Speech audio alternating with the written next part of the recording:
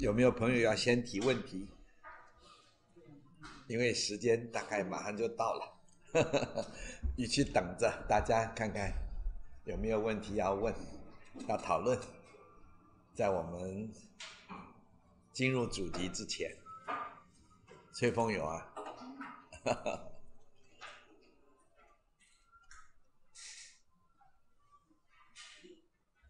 德明有吗？没有。我的问题跟都用没有关系。哦，没关系啊。不过现在欧老师先举手了，请欧老师说吧。老老师，我想呃请教一下，就是呃，请坐，请坐。我一直想呃向学生推荐说呃引导学生来读钱先生的东西，钱先生的书籍，但是一直有老师告诉我说钱先生太老，学学生不能接受。那呃我我本来以为是他们可能是意识形态的推荐，可是后来连呃一些年长的老师。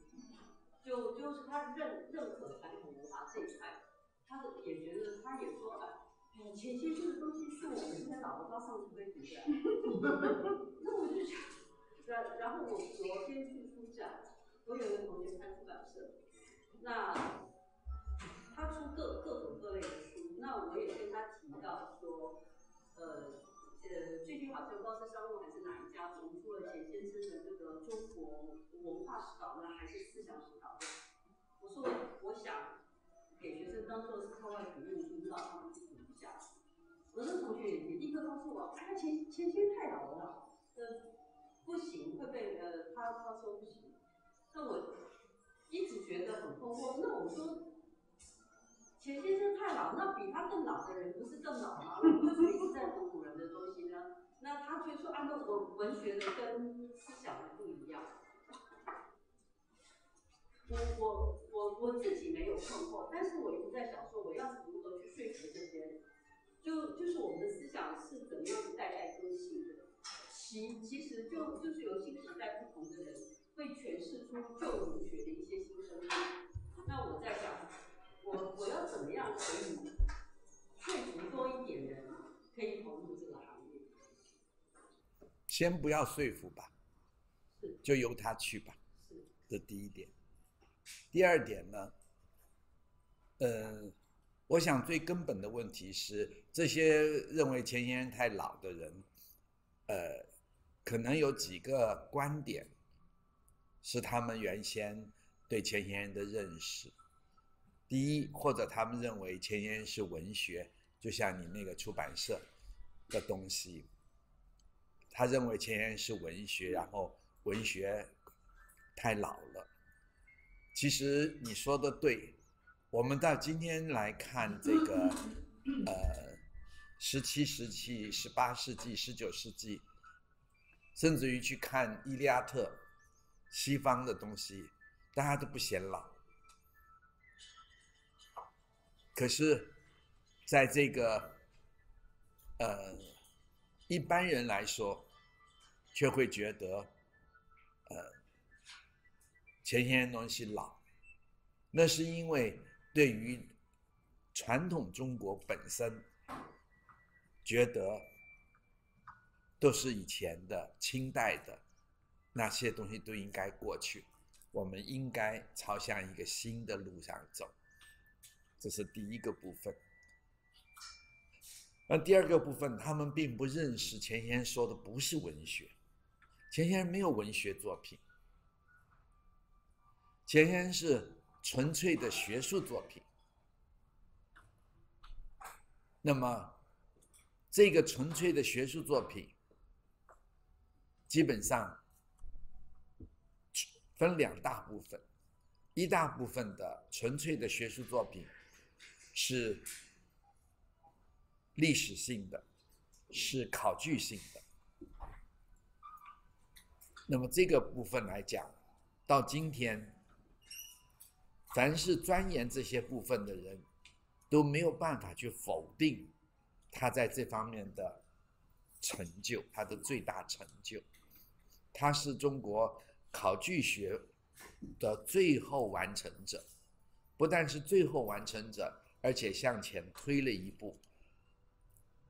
考据不只是版本的考据，不是不只是字字词的考考据，还有思想也可以考据。那他最出名的，到今天可以仍然站得住了，哪怕大陆出土了好多版本的老子。它本身仍然站得住脚，它就是思想的考据。那么他的考据，透过思想，透过老子书书中所呈现的思想，以及老子书书中最高的那个理想境界，然后再跟庄子比对，甚至于再跟其他诸子比对，那么可以看到。老子的思想基本上是完成于秦汉之际，至少在西元前两百六十年左右趋向成熟。现在大陆有人把出土的竹简本老子，还有帛书老子，因为多半都以德德篇。老子的道篇、德篇的德篇为主，我们现在传世的老子是道篇在前，德篇在后，而出土的都是德篇在前，道篇在后，甚至于偏重德而没有道的部分，比较很少很少。所以他们现在有一个姓吕的吧，叫吕尚吧。就把它整理了以后，认为真正的老子该德篇在前，道偏在后，这才是老子的本意。现在拼命在大陆上推动。那么大陆的学生以及台湾的学生做这方面的或者感兴趣的，也都来问我。昨天还有一个来问我，我就告诉把钱先生的。考证的想法告诉他，他也无话可答。那么钱先生的考证拈出了老子书中最重要的词汇和最重要的思想，然后来比对庄子那个时候有没有？战国时代所有的作品中有没有这个想法？那么我们再看春秋，再看春秋的时代，孟子或者到孔子，更不可能产生。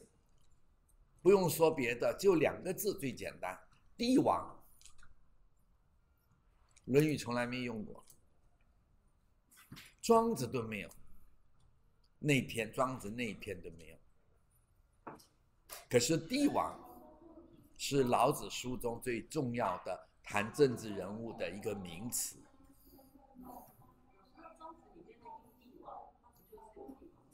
是庄子里面的印帝王，基本上他那个时候还不是一个普遍的观点嘛。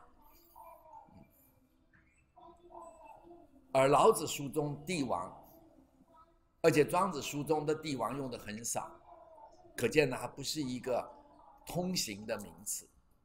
而老子书中常常用帝王、帝王之道怎么怎么的这个，那么可见的这个思想的完成，应该是在庄子之后，不止这个，我就挑出这两个字而已。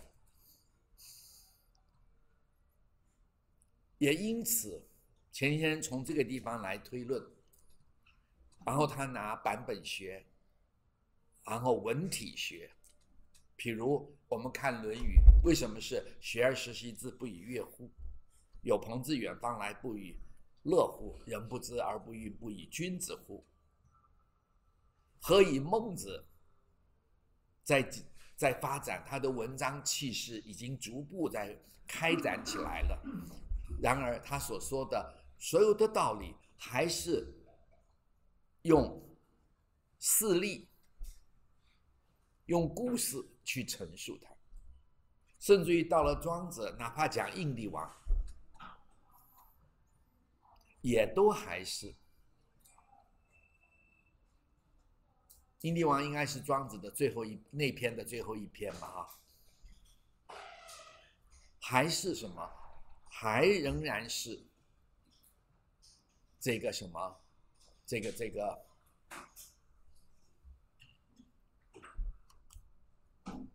哎，我要说什么？一下忘记掉了。预言，预言啊？预言体，文体。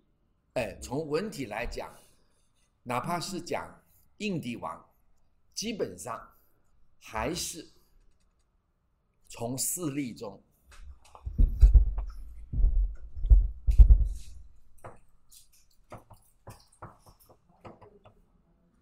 从事例中再说。他没有抽象的理论，为什么？因为谈人的道理，如果不从实际的事例、实际的行为作为，不足以去呈现。也因此，思想随着这个逐步的进展，哪怕到了庄子的时候，已经到了这个。不得了的一个无限空间的开展，它基本上还是以具体的事例来作为一个道理的说明，也因此我们看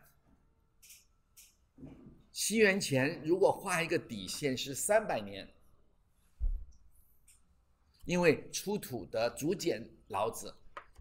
底线是三百年，西元前三百年，那个底线很清楚，不足以否认的。为什么？因为白起带秦军打进楚国，打进楚国的首都金，灭了这金，金的皇室贵族逃难离开这个齐这个地方。枸杞的杞杞这个地方，然后跑到淮安、淮南那一带去建立一个新首都，然后这个地方没有人在用，这个贵族的坟墓也完全就就被抛弃了，所以此后没有人再埋进去，所以这个坟底线就是西元三百年，因为吴这个白起大楚国。是西元前三百年，从这里出土的东西，嗯，是目前所看到出土文物最早的老子读本。可是，道篇中最高的抽象思维的句子不多，大部分还是德篇为主。那么，什么是德篇？德篇就是实际行为嘛。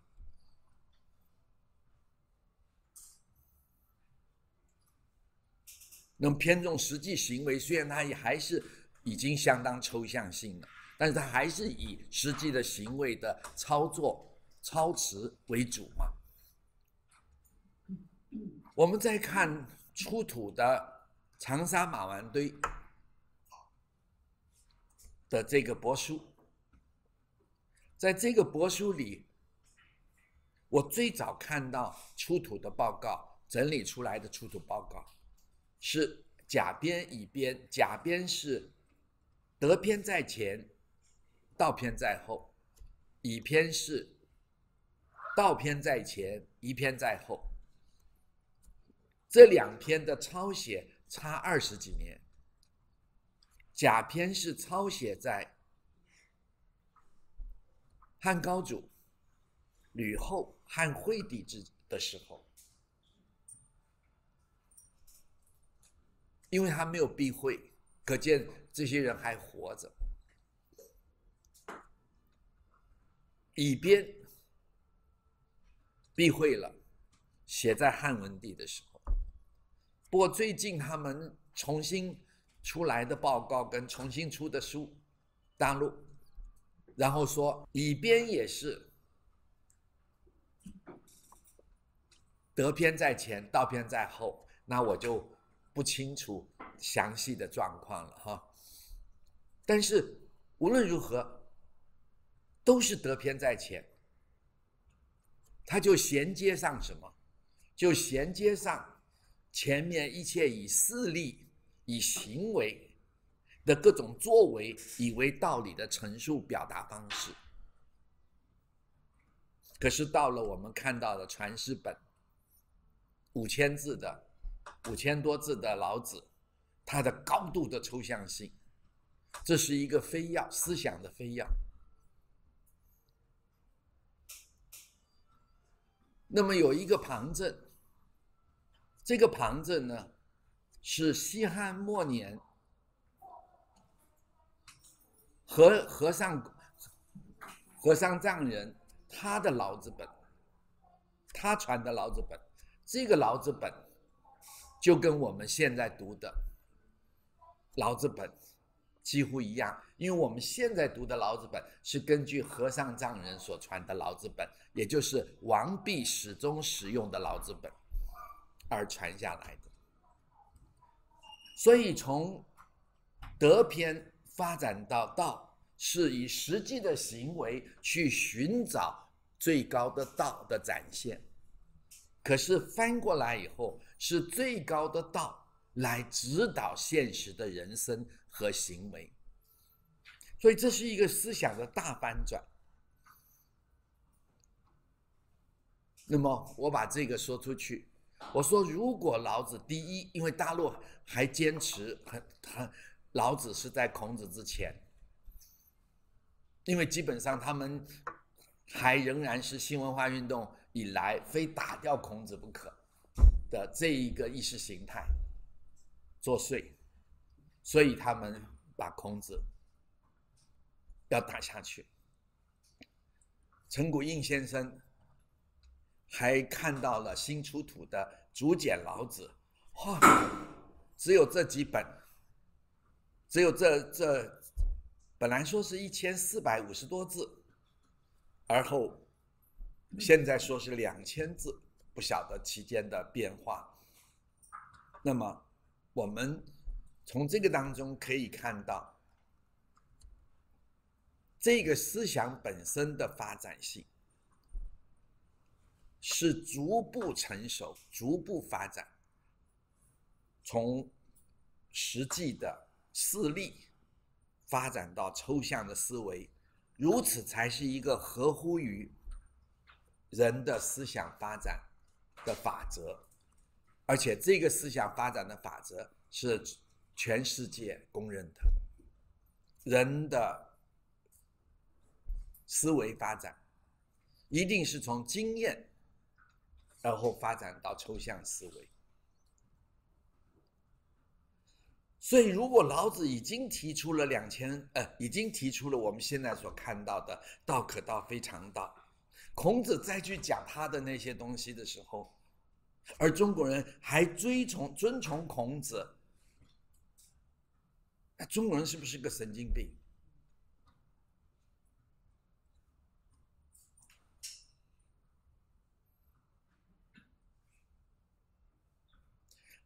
按照人之常情。人的心理性，那么也就是老子的思想逐步完成，然后总集结。前些人说老子是先秦思想的第一次总集结，在这个总集结中，他们必须推尊一个人，以抬高老子的地位。那么，不推尊庄子，因为庄子本来就在老子之后，啊，孔子之后；不推尊孟子，因为推，因为把老子放在孟子之前也没大意思。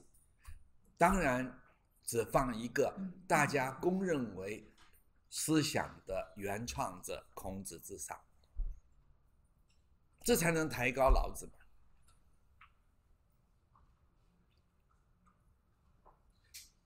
所以我们在看竹简本的老子本出土的时候，陪着就在他旁边同一个同一卷的竹简上，它是黄老黄帝书嘛，黄帝四书，就是黄所谓的黄老之术。所以老子的形成很可能先是就黄老之术的这个方式逐步完成，最后脱空而出。这第一个部分，第二个部分，老子书中，在我们现在的传世本，也就是和尚公的传世本中，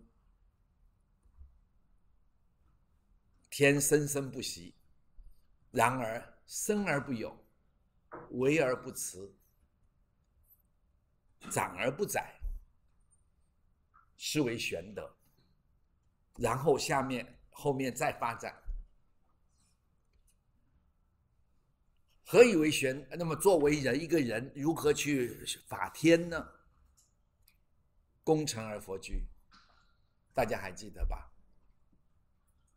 功成身退。可是这个在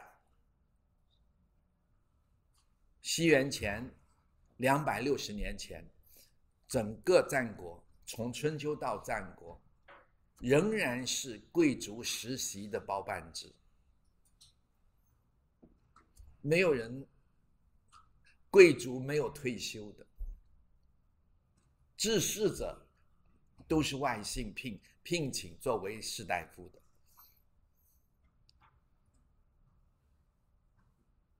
没有人退休。所以，我们看屈原，从这里也是一个旁证。屈原最后只有自己去自杀，因为他的他是楚楚武王之后，楚武王是正式奠定楚国的最重要的开国元勋呢。他是他之后。所以他楚怀王不喜欢他，贵族讨厌他，因为他坚持他的道德性，坚持他的治国与准则，一切以道德为准。所谓的道德，不要想窄了，就是讲尧舜禹汤文武之道为准。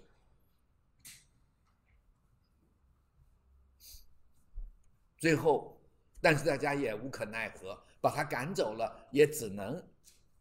让他去做这个最高的管理太庙、管理楚国贵族族谱、宗谱的这些事，同时负责教育。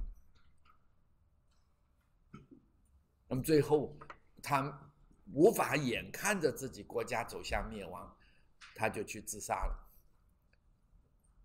那么什么时候这个？功成身退，功成而佛居。两百六十年西元前，秦白起之后，带兵要一举灭六国的宰相范雎，可是当他要出兵去做这件事情的时候，他的学生蔡泽跟他说：“你做完了灭六国后，你还能干嘛？”他问蔡泽：“你的意思是什么？难道要逼我退吗？”他说：“不是，你看看历史嘛。吴起、商鞅一路数下来。”范雎知道了，立刻告老还乡，推荐蔡泽做这件事。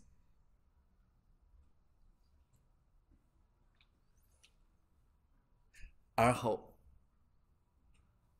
功成身退，天之道。虽然后来范雎还是卷入了战争。但是，至少在这个阶段中，功成而身退，而不是立刻遭遇到杀害。所以从这个来看的时候，这个已经成为老子书中最重要的一个现实法天的一个最重要的现实人生行为的准则。那是西元前两百六十年这个底线。从这些，我们简单的介绍给大家，综合起来，再来看老子这本书。那么很可能，为什么和尚公的书会流传？那是西周后期了啊，西汉后期了，因为汉文帝、汉景帝之后，正式成为定本。那么这是一个长时间的历史整理，因为没古人没有著作权的观念，我这个观念提出来了。上一次于先告诉我们量子力学啊，然后我们就称他为量子老祖，然后，哎，我们有任何量子的发现，在那个时代。就归之于量子老祖，它是形成一个学派，所以《论语》要到第三代、第四代才完成。在这个思想集结了之后，我们再看更晚的作品，《礼记》里所有关于孔子的说法，还有《李氏春》，哪怕是诸子中的讲子孔子怎么说的，都归之于孔子。子曰都归之于孔子。其实我们看那个观点，已经不是孔子的春秋时代的思想了。就比如《礼记》里的季统，说夏三周这个什么五帝三王本身之所以如此如此这么好这么好，何言？子夏问，孔子说：因为其奉行三无私。他奉他们奉行三无私。子夏再问：“何谓三无私？”孔子说：“天无私福，地无私载，日月无私照。”这个观念，《论语》中以及《春秋》中还没有成，还没有真正的成型。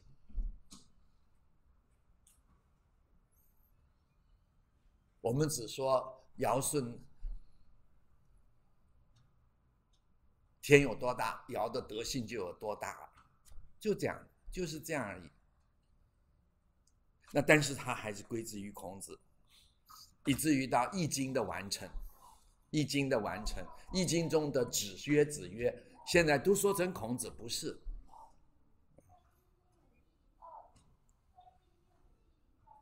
有些有些先生们说，说到了这么大智慧，不是孔子会是谁？这是推论。凭什么说只有孔子那么聪明？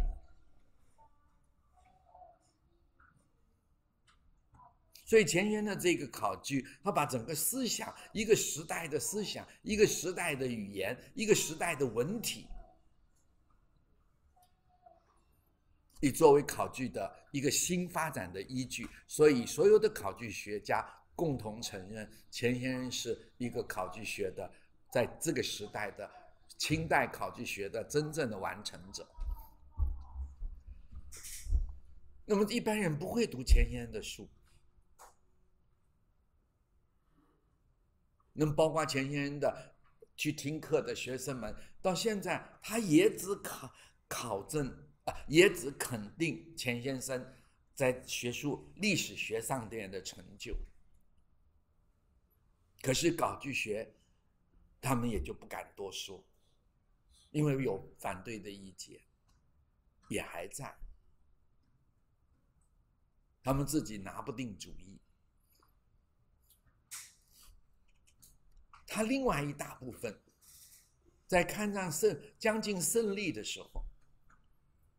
他另外开展出文化哲学，他重新检讨人类文化的发展，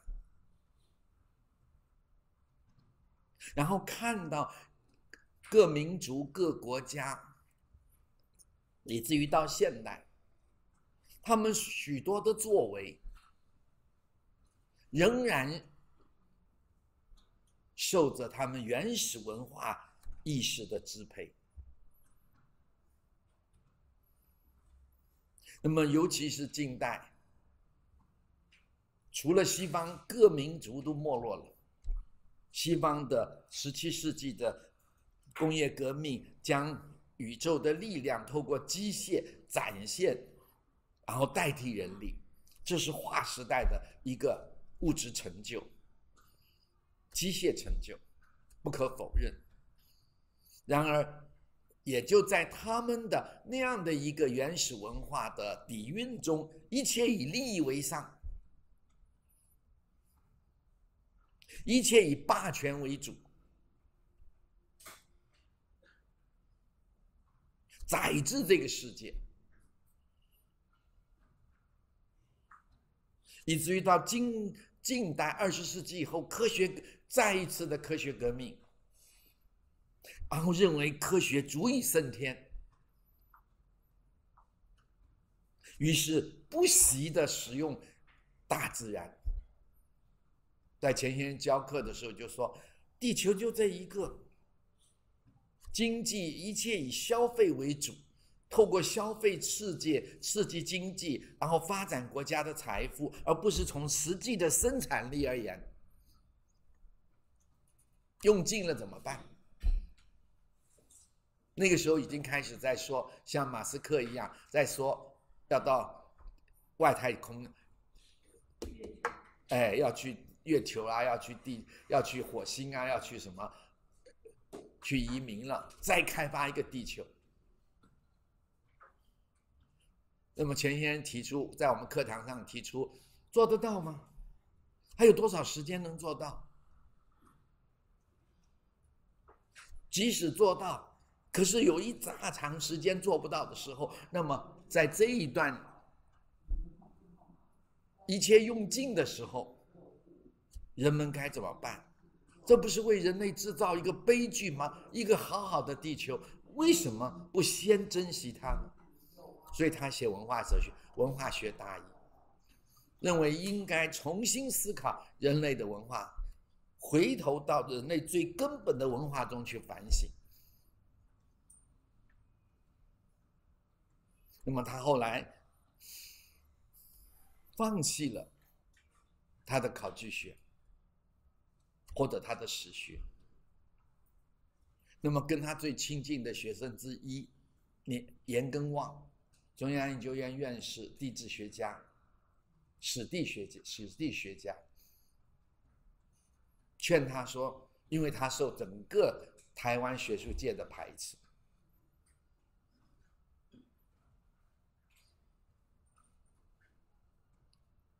甚至于他的学生公开的说，也教我们说他不用功了，说他净讲一些闲话，说他的文化哲学是闲话，他不是学术，也就是不合乎于玄的现代学术语言。那么严公望知道咸天那边的资料一大堆，你随便念一个题目来写。又不得了了，所以他就劝钱先生：“你为什么不再做考据？你为什么不把那个题目拿出来再做？这样子你马上就可以拥有领袖群伦在学术上的地位。”前人说：“我不感兴趣了，我今天关心的是人类的未来。”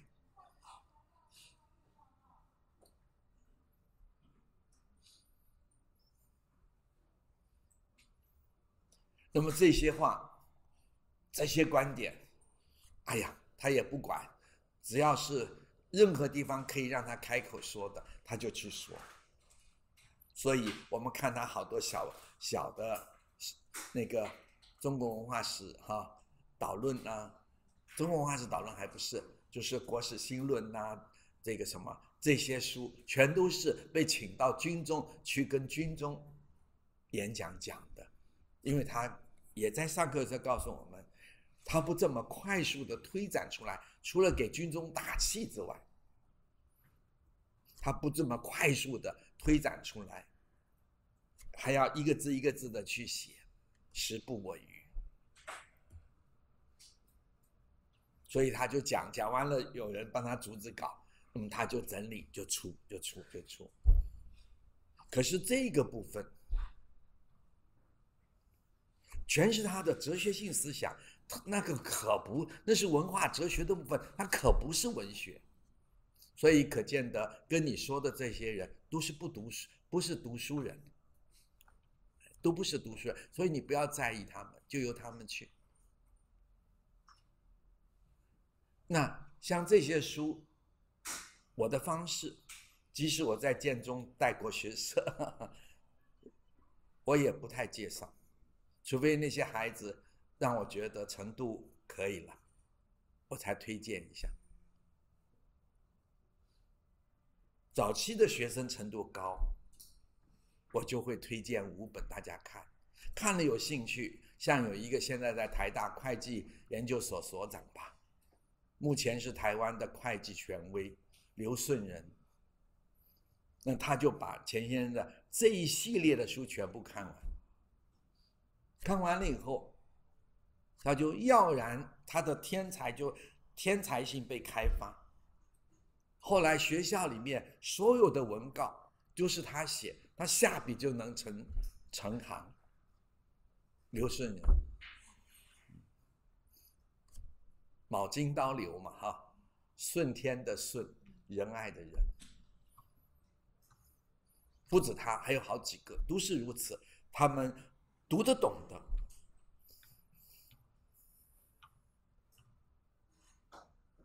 读完了这些，被认为是最浅近。他的学前沿的很多学生也都不认为这是这是学术，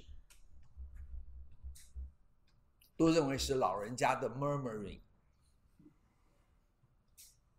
老了嘛，嘴碎嘛，咕嘟咕嘟咕嘟说的话，啊，不知道里面其实是他的哲学思想。那么，甚至于包括他的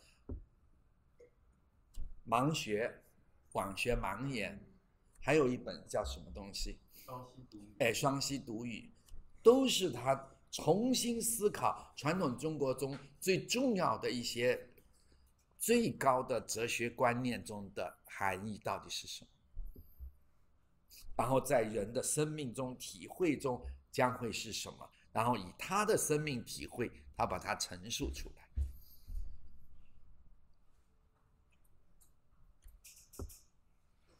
那么，现代孩子第三个，现代孩子没办法读他的，太自然了。尤其是教改后这五年的孩子，他们的不要说他们的知识程度浅薄。他的文字阅读能力不足，还有他整个的思想意识完全被现代的流行性的这些思想污染，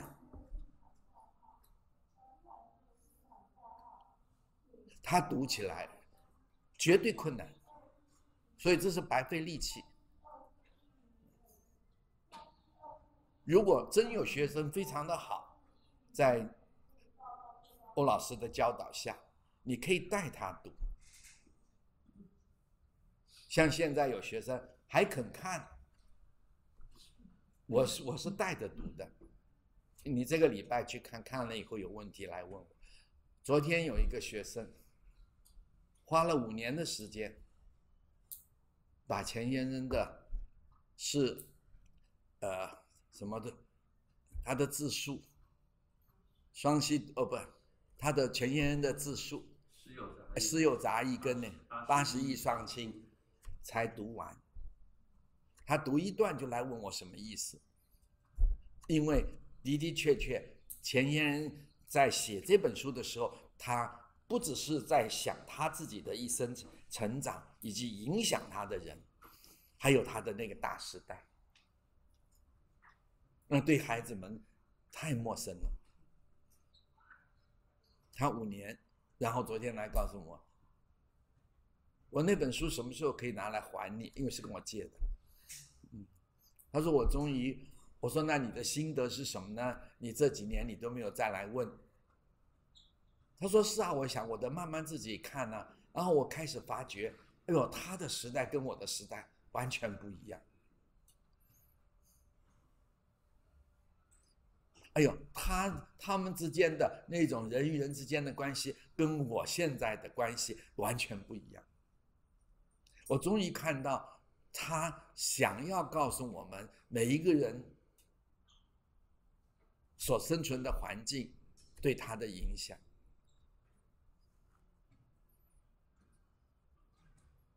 他说：“我就跑回家，他现在是住在台台北，因为他做事了。”住在台北，然后他说我跑回家，把我当时在国学社买的那几本钱先生的书都带回来，我重看。他说我现在在看《中国文化史导论》，我们要看到这个时代的差距，哎，看到这时代的差距。现在的老师程度也很差，我想我们在学校教书也都知道，中学中学，我以前常常在那个、那个、那个南海路教师会馆咖啡厅，夏天在那里写东西，因为它很冷。即使那个时候我住阳明山，我阳明山没有没有冷气哈，我在那边住了快四十年，没有用过冷气，可是夏天还是有一段时间很热的，所以我就背着书就跑到这边来，因为又安静，那边没有什么人，我就在那边写。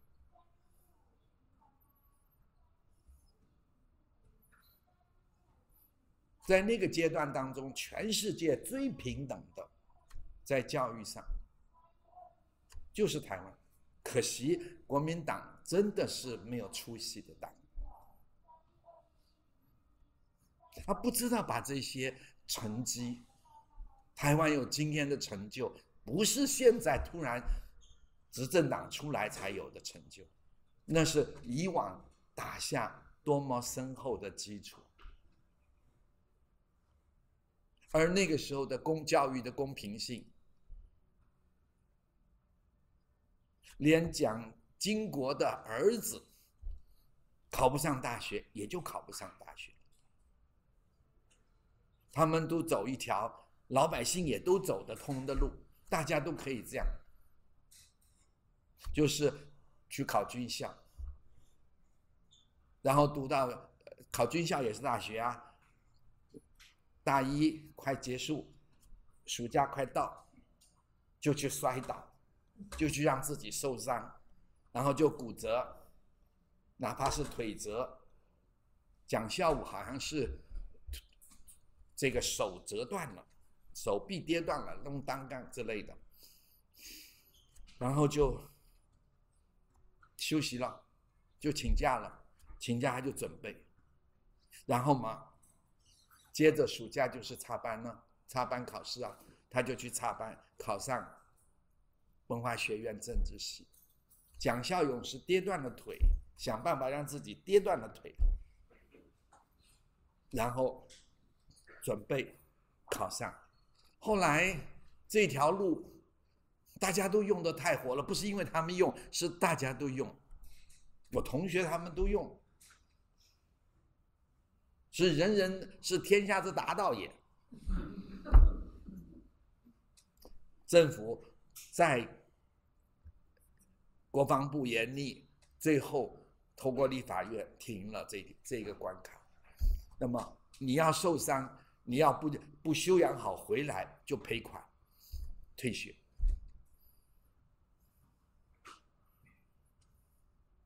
一个教育最公平的执政团队，对于老百姓的爱，不可否认。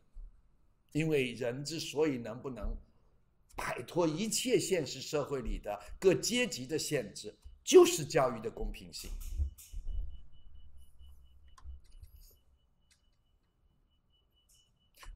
全台湾各级学校，小学、国语市小、实小，大家公认为台湾台北是最好的学校小学，它的基本预算跟远在阿里山咔咔里的小学是一模一样的。老师的薪水一模一样，你们去看美国，去看欧洲，薪水老师们的薪水一不一样，所以薪水不能透明，男女薪水都不能透明。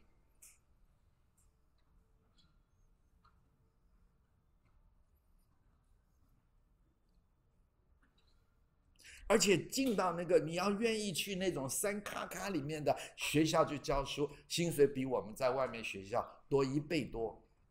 什么叫做多一倍多？一倍是确定的，然后那个多就是看福利，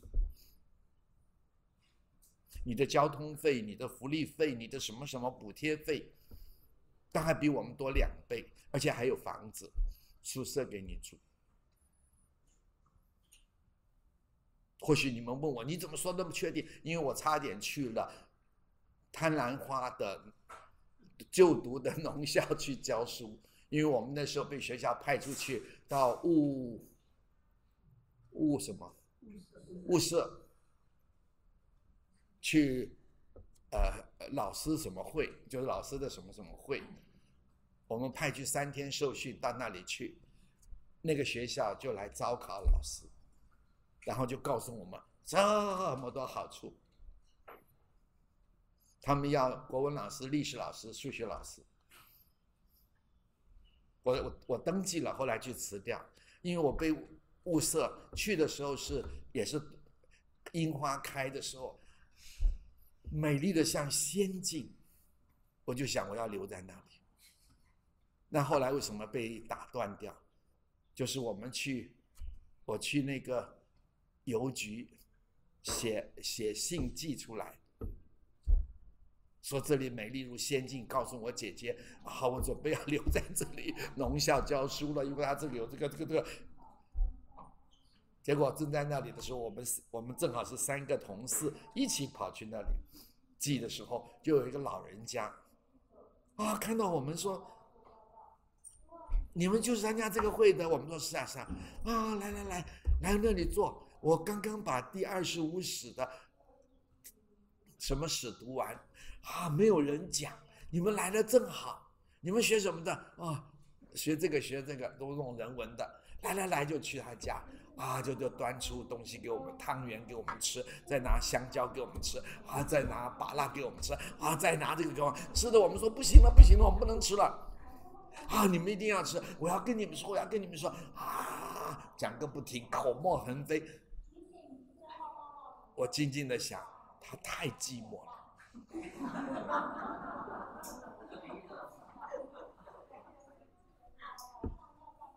让他七十多岁，我想想，我绝对耐不住寂寞，赶快去取消。我还必须住在城市里，我要看电影，我要看表演，我要我要参加各种活动，都一样。建中。上次有个姓蒋的教育部部长，说要把名校都打下去，因为建中取得社会的资源太多，而且社会太宠爱他，让他拥有，让他们拥有了等等等等，之所以让他们有这么大的成就。那我说这个姓蒋的绝对不是建中毕业的。我去建中教书的时候，建中脏死了，又臭又脏。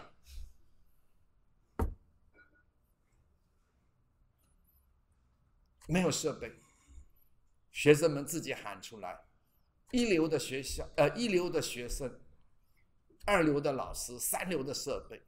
后来我教了第二年，他们又换了，一流的学生，二流的设备，三流的老师。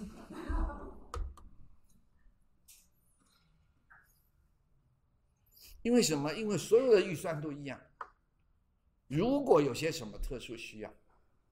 是专专门要立一个案去申请，专案申请。所以全世界这根据三民主义所达成的教育的真正的公平，只有台湾，只有那个阶段，现在没有了。现在的这种考试，你看台大几乎没有台北市以外的学生，几乎，而且以大安区为主，因为最有钱嘛。他所有的条件，这些有钱的家庭都可以想办法给上去，所以他们就进去了。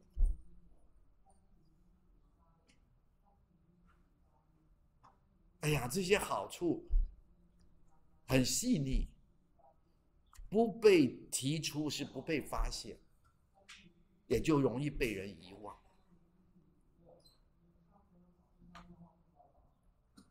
所以台湾真的是，虽然我对蒋经国是有些批评的，如果你听我谈政治的话，可是蒋经国的后期。他从做行政院长开始，一路到他做总统，生病之生病之病重之前，你看台湾是不是个天堂？所以我们才会有校园歌曲，艺术的艺术，透过艺术的恢宏的赞美，就是因为他的政治的清明。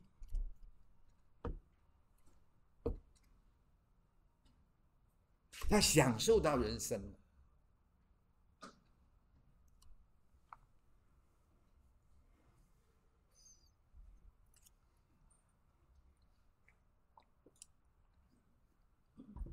所以面对这些变化，我们也不必太在意，反正时间一定有变化，一切人事都在变化之中。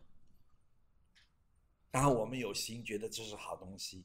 我们就要看，不是很硬性的。我是老师，我一定要介绍给学生，不一定。嗯，那主要是，尤其是在现在，第一学生的程度差。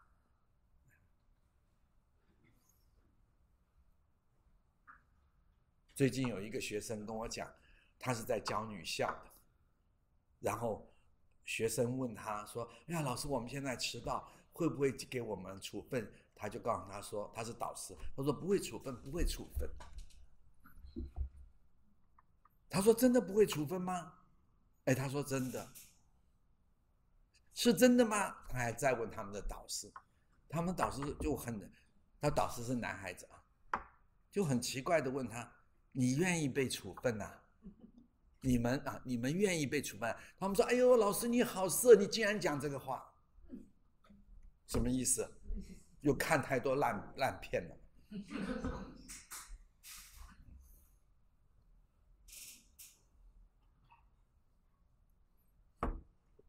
所以孩子们在这样的环境里，我们不能要求太多，只有努力去教，然后要有耐心，然后不求回报，真的是老子。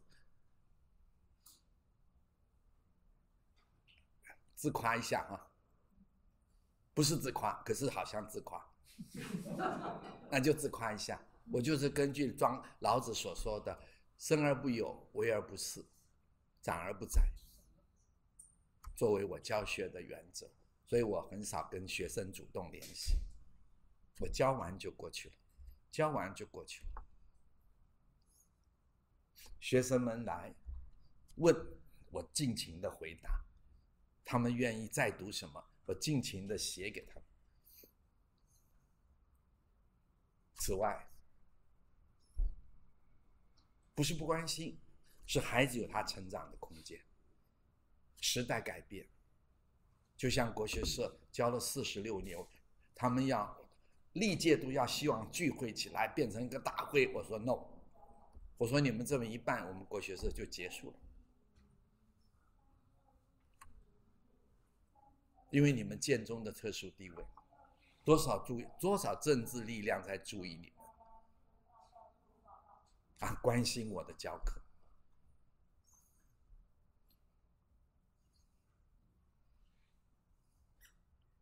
所以教完了就去然后各自成长愿意联系再说再联系。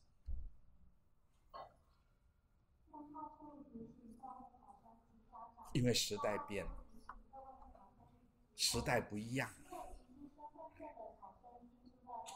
所以我这是我对欧老师的一问题的提出。哎呦！第一第一节课结束，那我们就讲到这边，待会儿再开始说上课。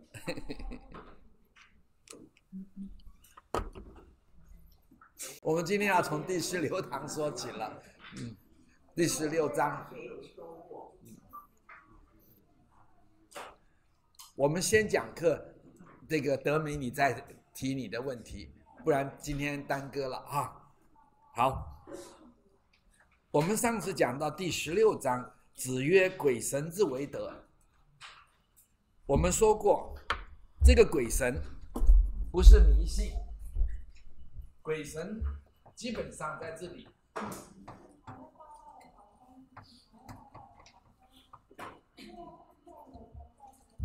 第一个意思，泛指祖先。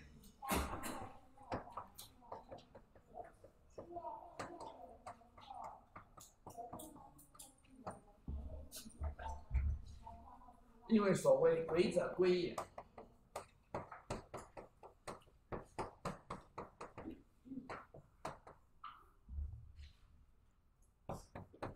人死曰鬼，神者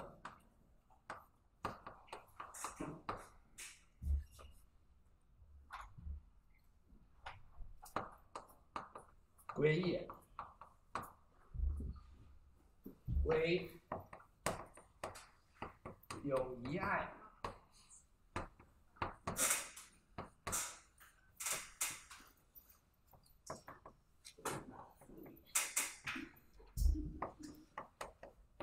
唯有一爱一德在人者，曰神。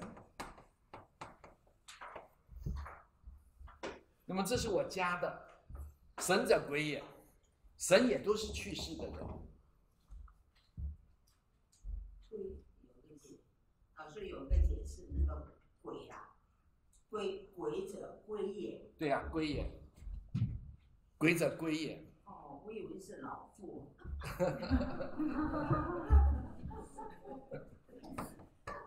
鬼者归也。鬼就是回去了，闽南话。对。邓体啊。哎，回去了。也就是转回到原来的屋里去了，转回了我原来来的地方去了。所以人死曰鬼，泛指祖先。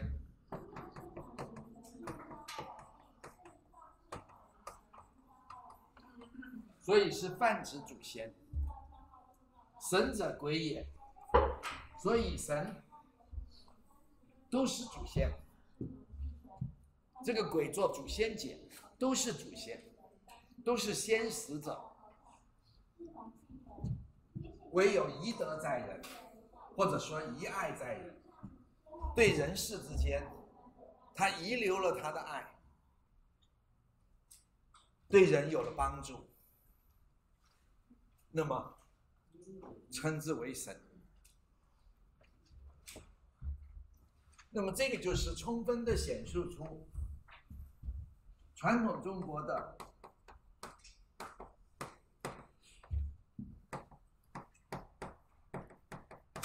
人文教，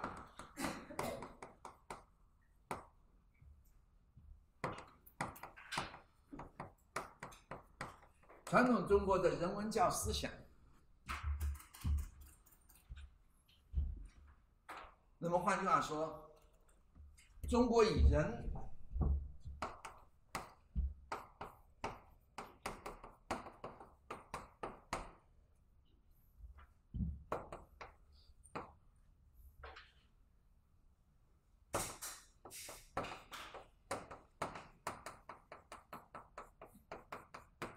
中国以人为宇宙之主体之一，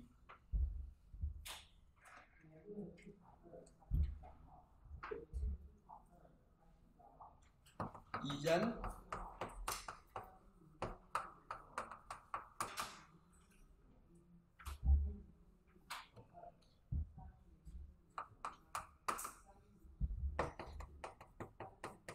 以人为生命之主体，是以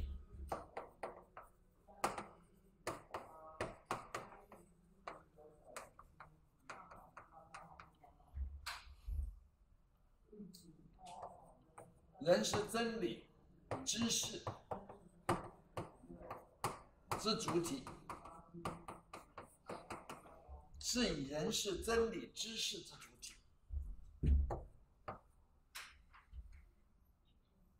此有别于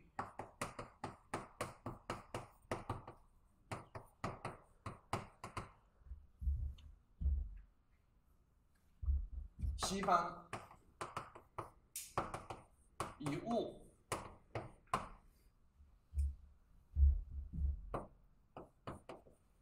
以物质构成的宇宙。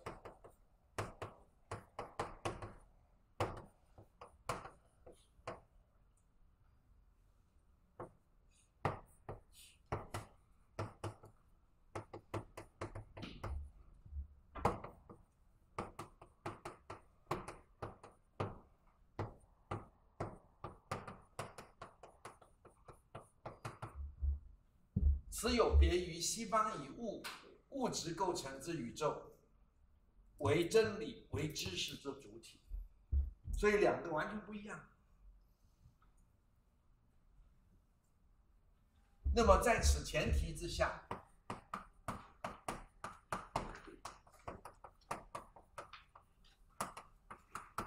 在此前提之下。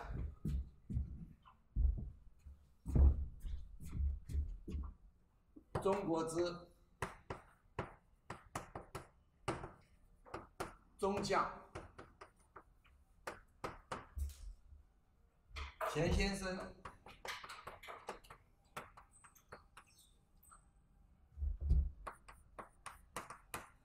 假言为。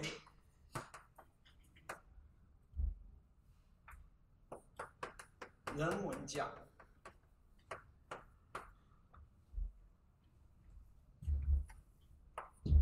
一切以祖先、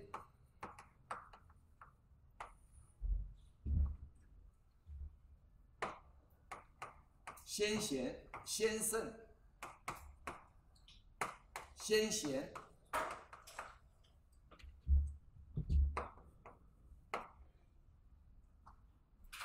为生命。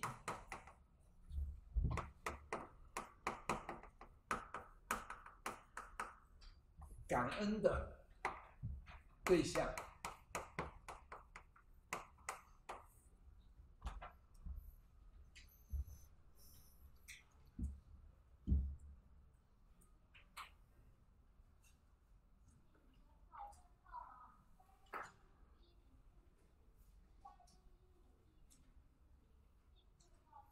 或者说，在此前提之下。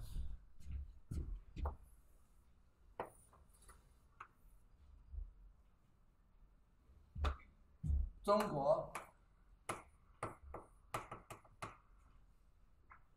以祖先、先圣、先贤为生命感恩的对象，此感恩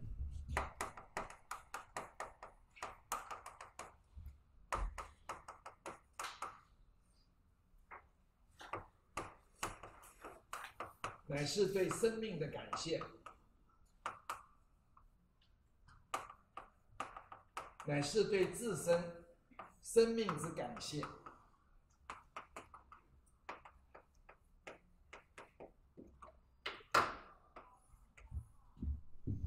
钱先生。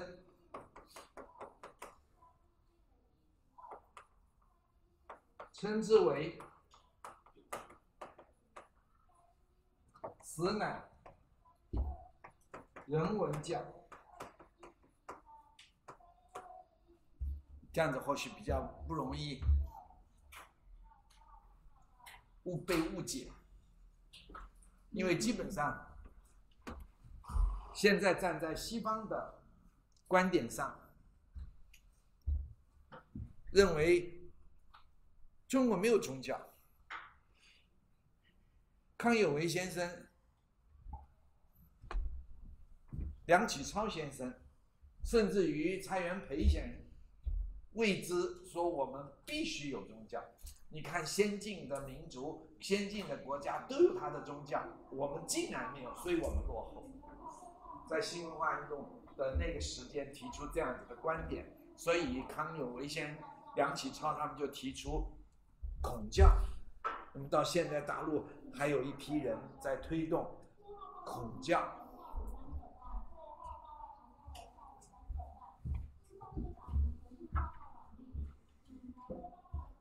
那他是站在西方的宗教学、宗教宗教学的这一个基本的元素和定义上来说，中国，那中国是没有他那样的那一套系统的宗教性和宗教信仰性，但是中国人在以人为真理、为知识的主体，以人为生命的主体、宇宙的主体的前提下。中国人对生命的感怀、感谢，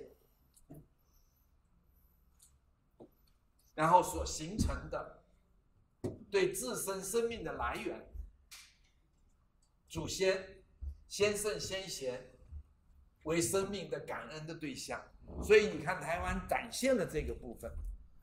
台湾所有的庙宇，所谓自然神奇的。哪怕是三观大帝、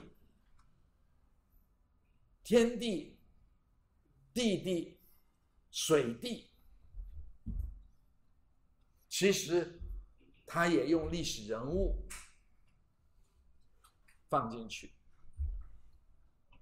除了一个玉皇大帝，都是历史人物，而说感谢的，就是不忘其本。不忘生命之本，那就是传统中国对生命的全然肯定，对实际生命的全然肯定。那么这个是有别于佛教的一个部分，因为佛教基本上对实际的生命认为有其虚妄之处，然后要。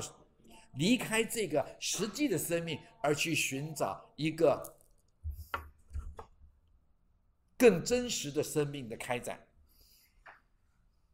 和儒家没有太大的差别。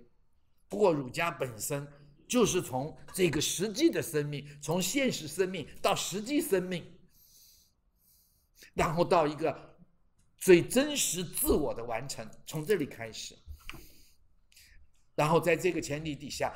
你觉得自己活着是一件宇宙中最重要的事情，就像《赤壁赤壁赋》前《赤壁赋》里面所写，到最后是天地的变化不能以一瞬，啪啪啪啪啪啪。然而，你之所以为你，在这个世界上无可替代。你的价值就在于你诞生在这个世界上，同时你是独一无二，你是唯一、无可替代的。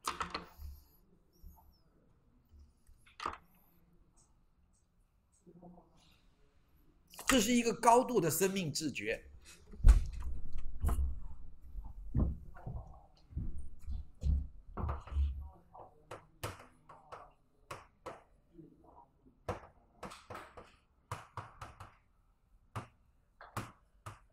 这是一个高度的生命自觉。传统中国的学术，简单说，高度生命自觉的学术。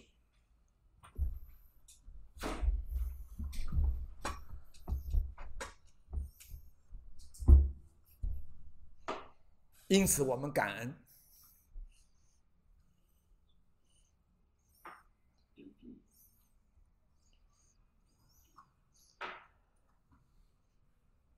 所有的礼礼仪、庙宇的礼仪中都是感恩，只是现在被一些哦，特有的个人在祈求中啊，我拜他，希望你给我发财，我现在发财了，我来还愿。那这是一般庶民们所追求的，但是还是不离开哇，就感谢，我是来感谢的。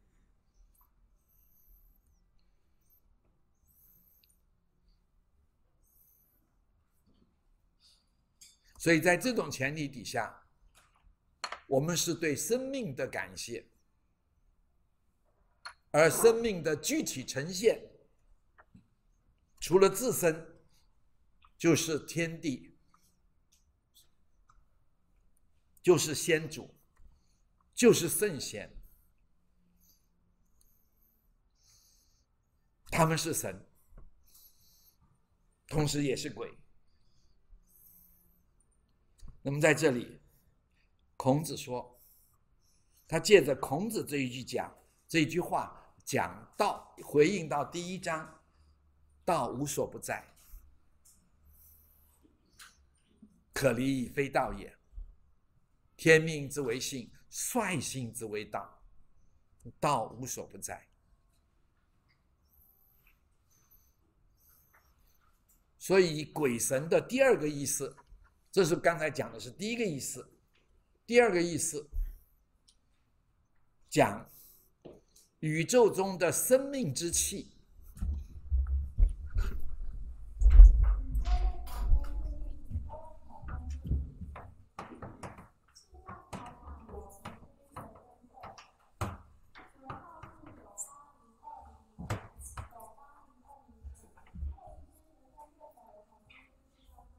宇宙中的生命之气，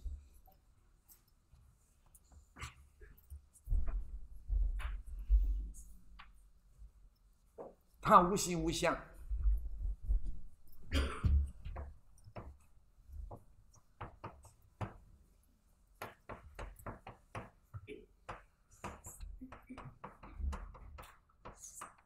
其无形无相。这里讲的是无。就是老子的那个无，中庸就是在老子之后，同样的是一篇重要的儒道汇通后的集结，然后再回归于儒家，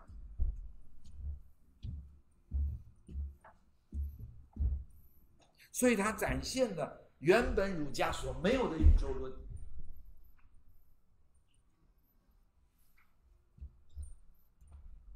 然而，他提出了如同老子所提出的那一个大道，那个天道。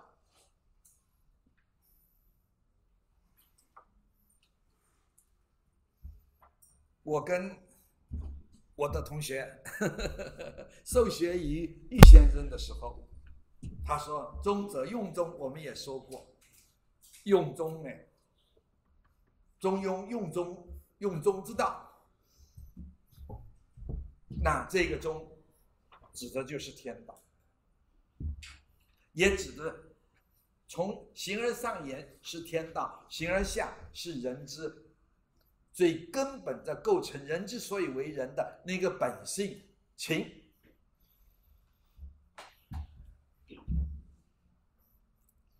人是有情的，有爱会爱的。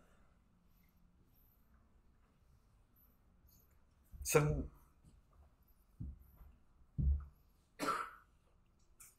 只是你如何用的适当，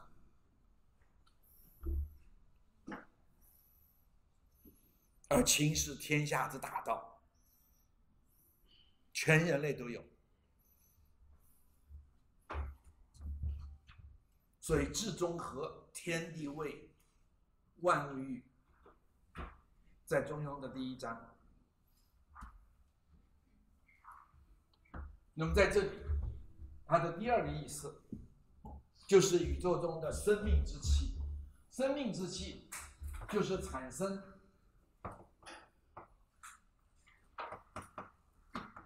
创造、产生生命的生之能动，生之能动。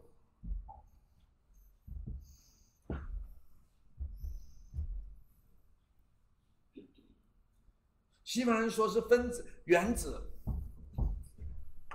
从物质的本质而言，说原子，说分子，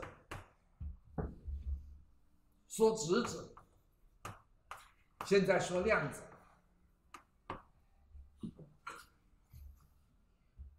传统中国说一种生之能动，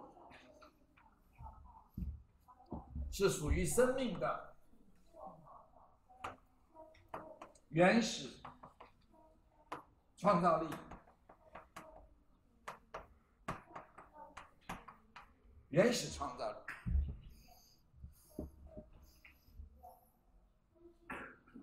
无形无相，仁者归，鬼者归也，回去了，不见了。然而，它是不是就消失？它只是回归于无，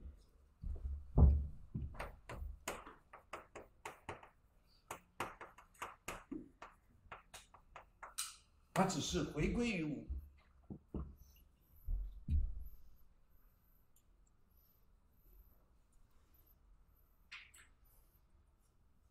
它不竟然代表消失？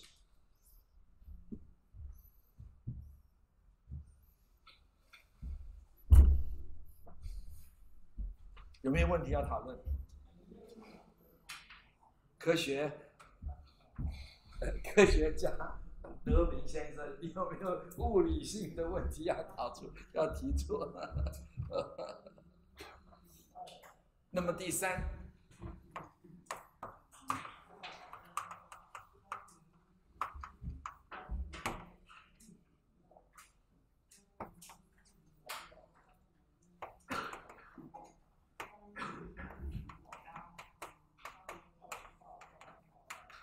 宇宙中的原始能动力，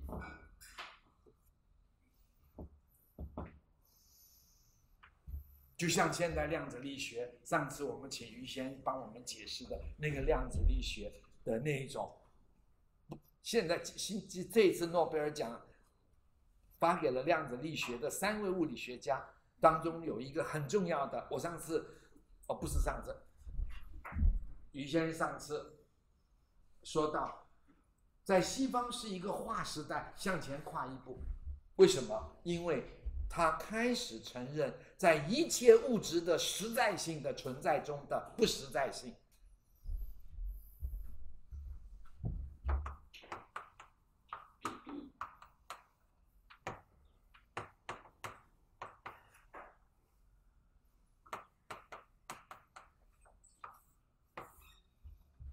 实在性的不实在性，非物质性，非可以说非物质性吗？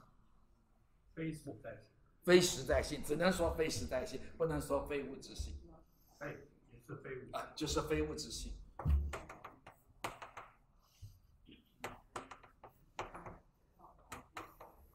那么这是西方，所以这是一个转折的时代，千万不要忽略，不只是政治，不只是国际局势等等等等的转折时代。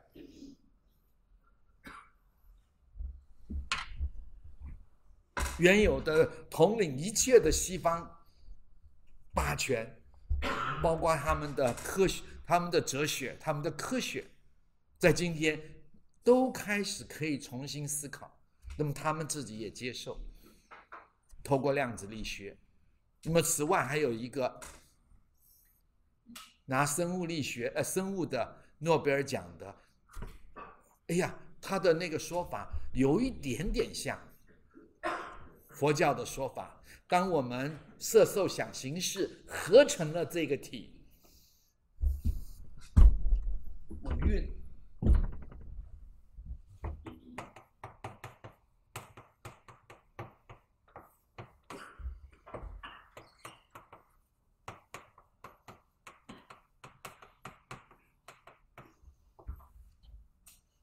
佛家讲我。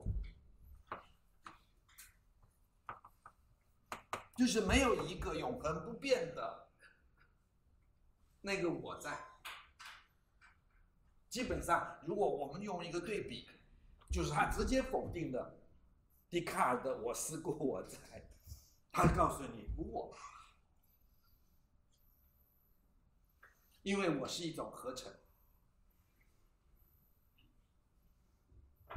这种合成由物质，然后有受想行识。有人的认知的意识，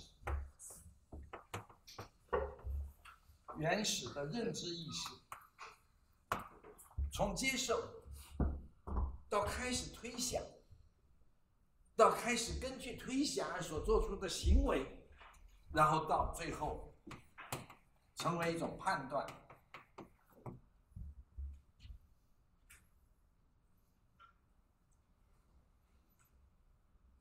它不只是人的物质和算是精神性吧，原始精神性的一种结合，而这个原始精神性的结合中，还有不同阶段中的发展。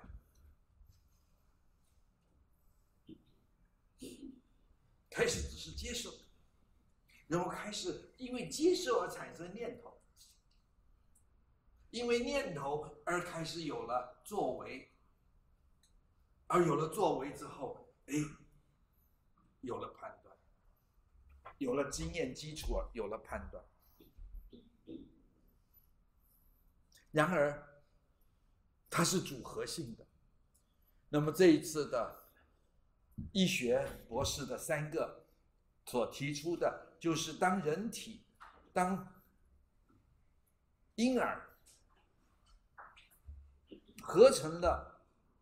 一个婴儿体，原始的那个婴儿体，并不是 DNA 就此决定了这个婴儿体的一切发展，而是这个当它一形成了这个婴儿体的时候，哎，它本身就开始有认知性的作用的运作，然后它它开始。有某某一种它自身特有的意识，就掺进 DNA，然后促成了 DNA 的另外一种修正与发展。然后，当它这个段落完成，又有一个新的意识而产生，而在发展。那么换句话，这也是不得了的，因为以前一直认为 DNA 决定了人的一切，然而现在发觉。DNA 本身之所以完成，有人的意识认知的作用在内，这都是新的观念，我没有说错，没有，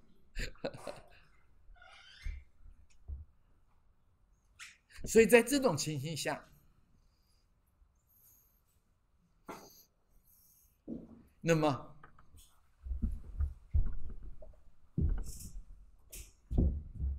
不论它是实在非实在，不论它是物质与原始认知的合成，能产生就是有一种原始的根本动力的推动。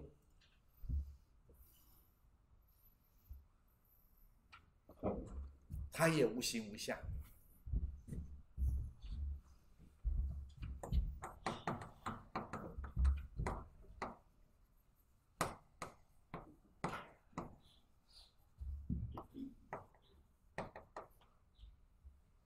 这也是无形无相，然而充斥在整个宇宙之中。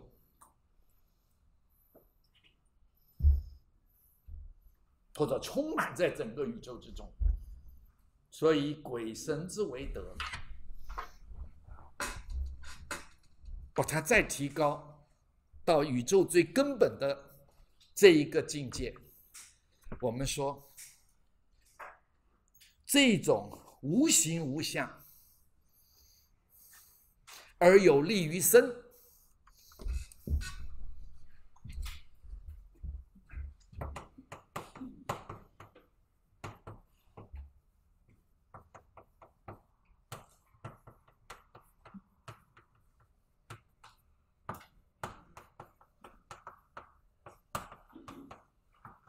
而有利于生。这个生做创作者，有利于创作，有利于创造，有利于生，包括生命在内。其甚异乎？这股无形无相的力量，对于宇宙的创造是极其盛大，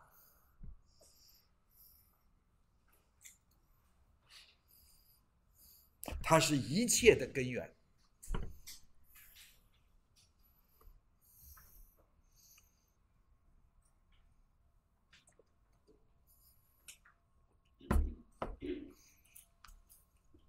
透过人的经验，透过人的认知经验，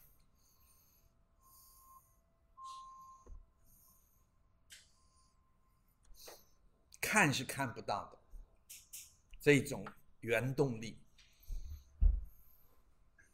这个宇宙的原动力，看人就视觉而言看不见，这是来自于老子“视之而不见”。听之而佛闻，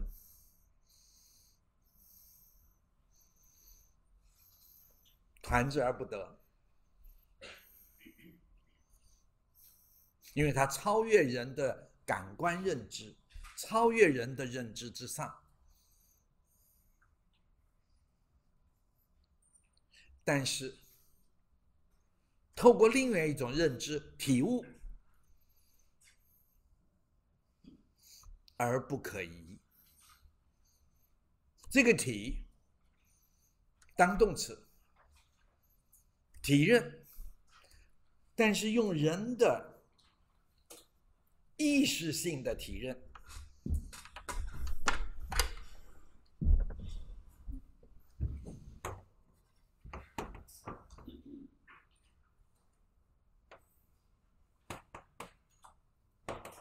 或者加深层。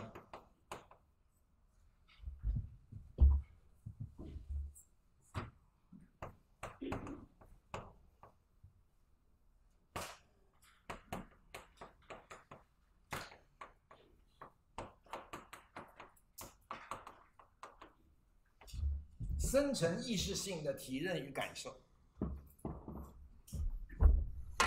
所以佛家讲，佛家讲，人除了有肉眼，可是不要忽略了，人有天眼，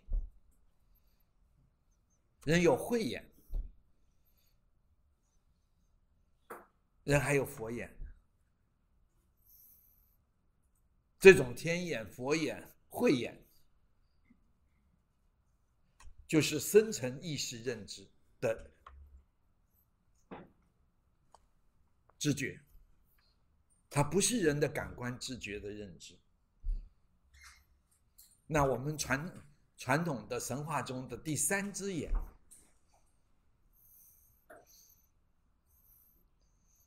哪吒不是有第三只眼吗？或者还有心眼？最基本的是心眼，或者说这些都是属于心眼的部分。如果我们从人的心眼或者人的慧眼去体认万物的本体，这是万物之所以能存在。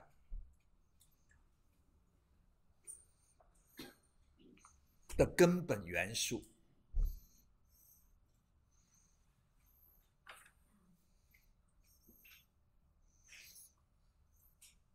任何万物的存在都不会遗漏掉这个宇宙的根本原动力。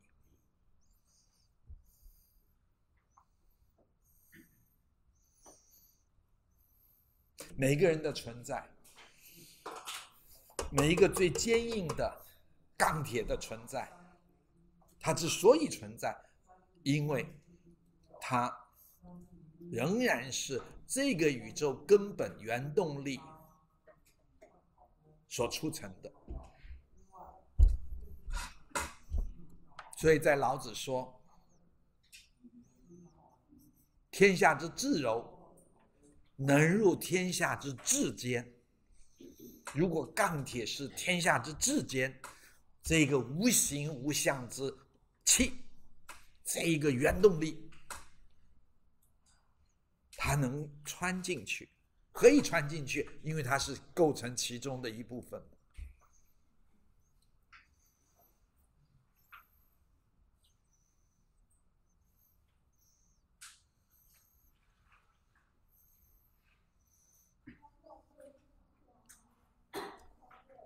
使天下之人，他能够提振人的精神。注意下面这一句要加，这种原动力提振人的精神性。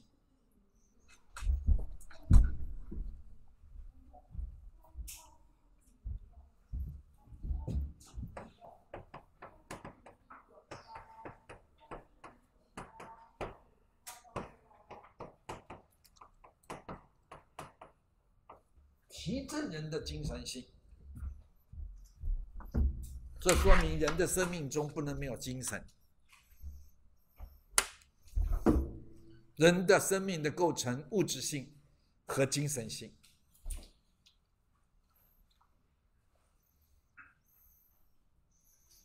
那么提振人的精神性，所以他使天下人。这个使就是让他让天下人，他知使天下天下之人，会采取这样的动作。什么动作？灾民胜福。他采取斋戒自己，斋变换食物。不再吃荤，吃素，戒，严守生活中的规律，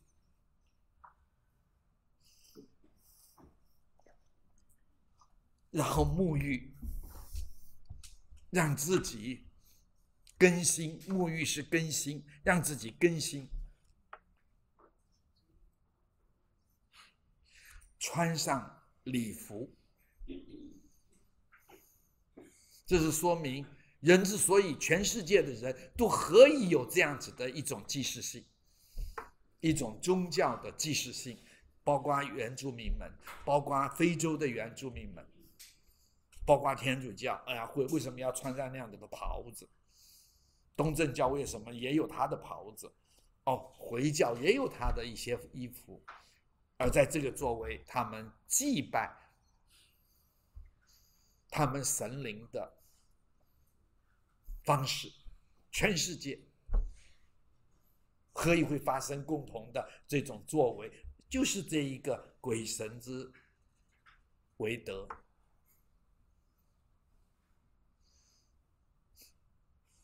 那种无形无相的根本的原动力促成。人类精神性的提升所发展出来的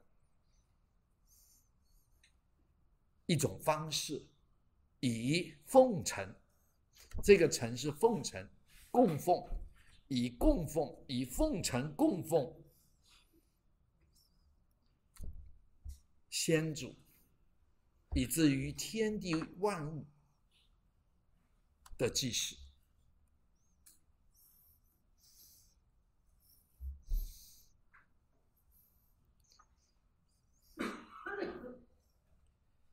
而在祭祀的时候，可以感受到洋洋乎其上；在虔诚的敬拜中，可以感受到这一个根本的无形无相的力量，生命的根本力量，宇宙的根本力量，就在自己的头上，如在其左右。这个其实自己就如同在我们的四周。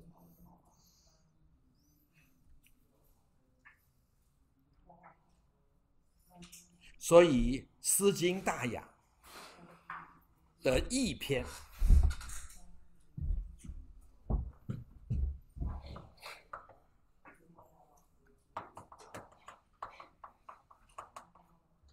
诗经大雅》的一篇，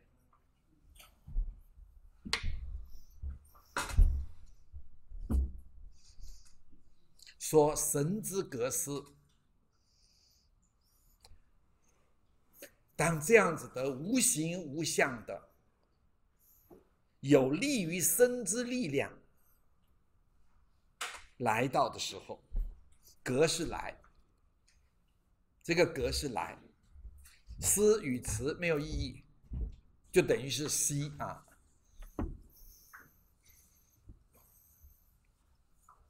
来到的时候，那种感受无可度视，是我们无法从现实经验中去揣度的。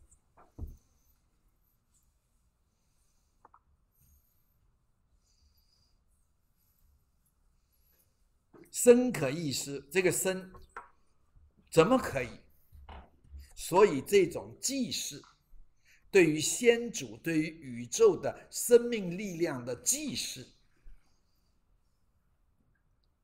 怎么可以厌倦而不继续呢？这个色是厌倦，念意。我们现在近代。几乎是厌，大部分的知识分子都厌倦了我们原有的知识，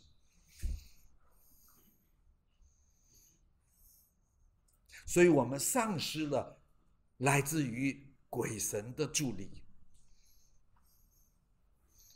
那不是神秘的那种力量哦，大家提档哦，鸡同到了，不是，而是什么？而是。高远深刻的思维能力，这个无形无相，帮我们从现实认知的经验中提升到形而上。相对于现实的认知，形而上的认知是极其宽阔而无限的。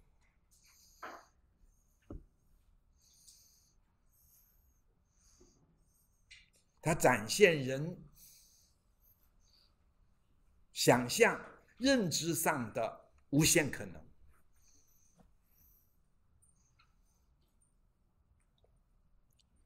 所以我们会觉得政治人物不论蓝绿，现在说出来的话，有的时候都让我们惊讶，怎么会那么幼稚？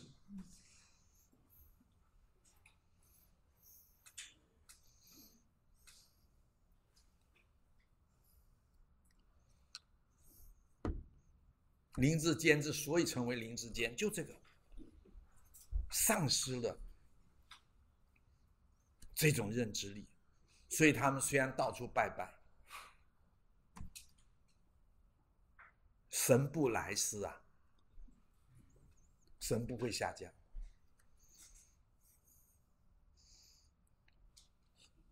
福如此，作如此解，微之险。整个宇宙天地万物，从隐藏这个微是隐藏，从隐藏从没有，隐藏就是没有，然后逐渐化而为有，这个显就是有，微就是无，从无化而为有，这个知识前往啊前往，我把它引申作化，化而为有。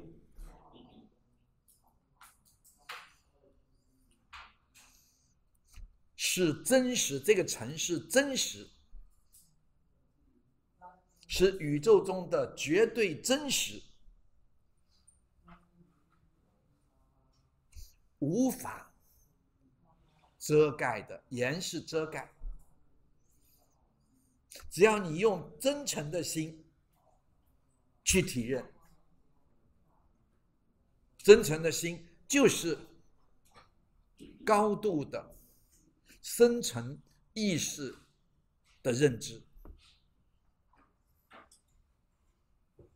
如此夫，就是这样。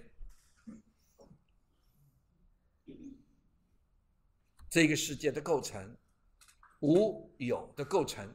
不过中庸把这个无，以鬼神之德作为彰显，而不是单纯老子的 nothing，没有东西。那这就是中庸不同于老子的地方。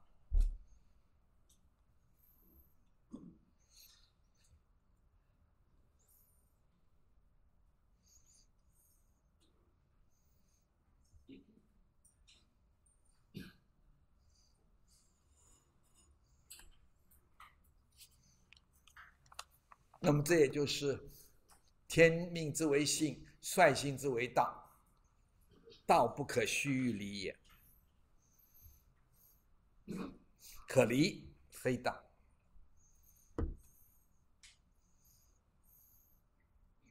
所以在这个道中，人只有透过生命的自觉而加以调度。用中就是调度，适当的调度。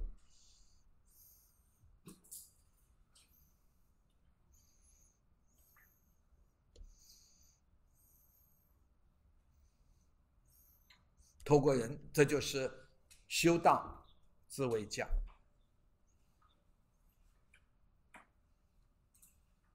人之所以不受制于人的生物性，以及人有生物性所凭借的宇宙的规律，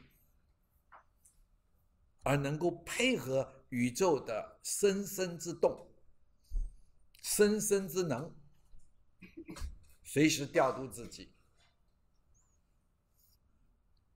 让人成为人，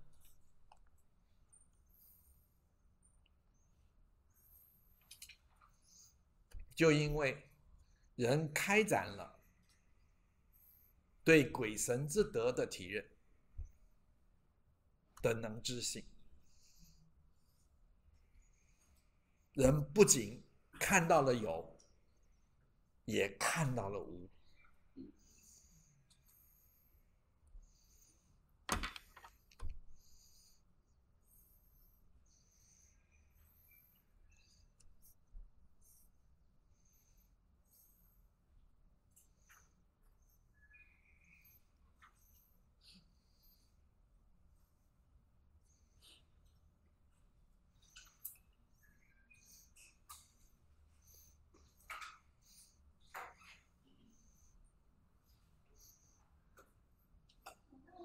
大家有没有问题要及时提出？如果没有，我们休息一下。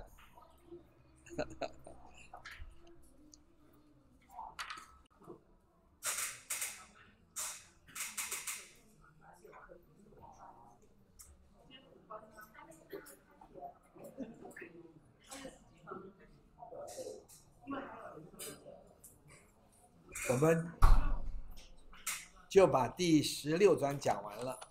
大家有没有问题要讨论？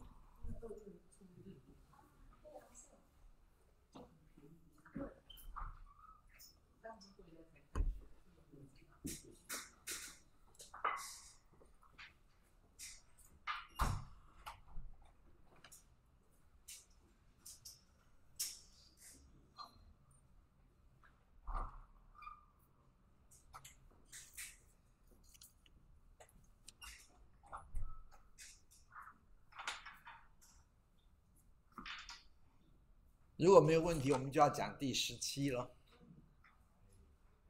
啊，请。哦，嗯，你说。神的是说，在寿命理学的时候还有吗？有。他讲非常重要。你去看那个朱子的这个学说中，他鬼神是他这特别挑出来讨论的问题。所以在前些人的朱子心学案。鬼神也被挑出来，它是一个词一个词一个词挑出来嘛，哈，就等于是朱子的思想的重要的议题嘛。那么他把它挑出来，有一番论述。那当然前先人有前先人的论述，你们要以前先人的论述为主，他在这个时代，他是一个划时代，总结了前面的时代，清的以前的时代，然后再根据说明理学往下再发展的一个新的对于传统中国的反省，学术的反省。所以近代它的东西是你们求学为学的根本，它的基础，其他人都有偏颇。或者不自觉的受到新思想的影响，而提出一些，就像钱先生的老师吕思勉先生，就在那个时代的革命，一切都要以革命为主的时代，革命是政治正确，所以他认为岳飞就是军阀，所以宋高宗必然要消除他。那么他根据什么来说？岳飞就是军阀。根据历史事实中，岳飞拥有数十万大军，同时认为在那个时候，宋高宗从北方被金人放了回来，逃出来，然后整个南宋为弱，所以岳飞。非革，非要打不可，以至于终于遭到杀身之祸，因为他几乎是危害了、威胁到宋高宗中央政政府的成立。而根据这个来说，那你也不能说他说的不是事实。不是历史中的事实，可是传统的说法呢？当然，传统的说法不一定不一定都成立，但是传统的说法呢？哎，岳飞虽拥有数十万大军，同时非北伐不可，因为不北伐，南宋不足以存。就像我们当年。老蒋先生为什么一定要反共？反共？反共？不反共，台湾的存在，其凭借是什么？就像现在乌克兰非打非打非打，在打打打的当中，他才能够把整个的，当然后面还有大大战略、大阴谋，美国逐步逐步的促使，在这个战争中，让欧洲跟俄国决裂，完全决裂。然后削弱俄国，也削弱欧洲，把两个重大的世世界的实力削除掉，同时加深俄国跟欧洲的仇恨。如此，他转过身来。再挑动东亚，台海为主，拉动整个日本，让日本也走上前锋，因为台湾成不了乌克兰，那么让日本作为乌克兰后援部队。挑动整个，然后让东亚的钱再集聚，像欧洲的钱全部集聚到美国去。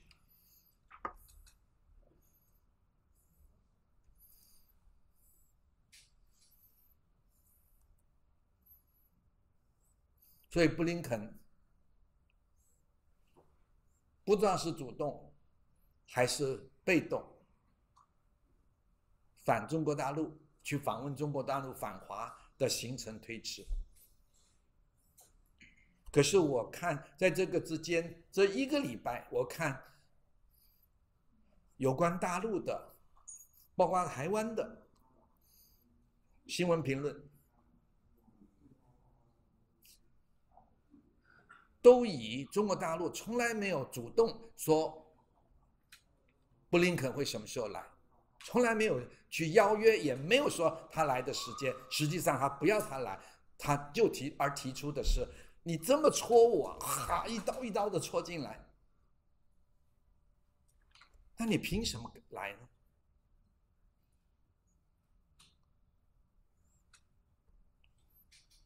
那现在放出两个气球，美国说这是间谍气球，然后布林肯不来了。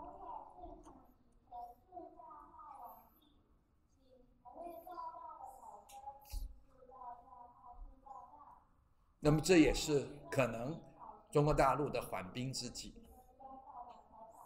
因为要打的是美国，要挑动整个东亚地区的动荡是美国，因为如此他才能收割，才能救他的金融。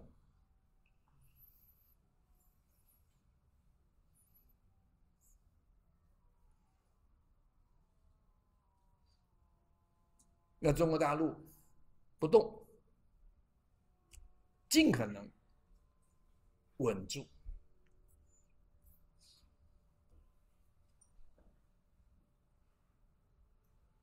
所以乌克兰那边，美国可能要准备抽身了，因为他的长城的火箭、长城的飞弹都逼着欧洲送出去了，还有长城的大的那个，再接下去就是长城的，就是放炸弹了。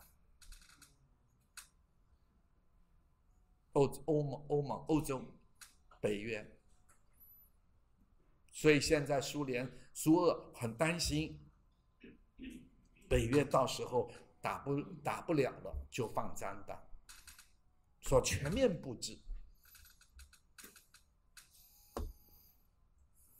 所以，联合国大陆驻联合国的大使拍桌子骂联合国的美国驻美。跟欧盟驻美啊，美国驻联合国跟欧盟驻联合国的大使，问他们是不是要挑起世界大战？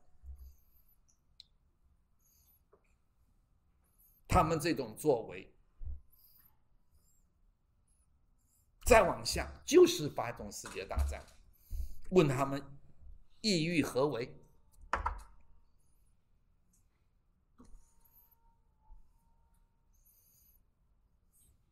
所以在这种情形底下，美国尽可能的，呃，中国大陆，美国尽可能的挑动，而中国大陆尽可能的稳住，让东亚稳定，大量买苏俄的东西，撑住俄国。这个世界才有某种平衡性的可能，因为现在是美国着急了，他们的央萨的政府及寡头的犹太财团着急了，因为他们的金融下去了。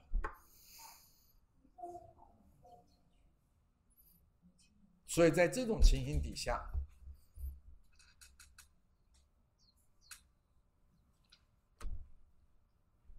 作为知识分子，我们能不能够看得很清楚？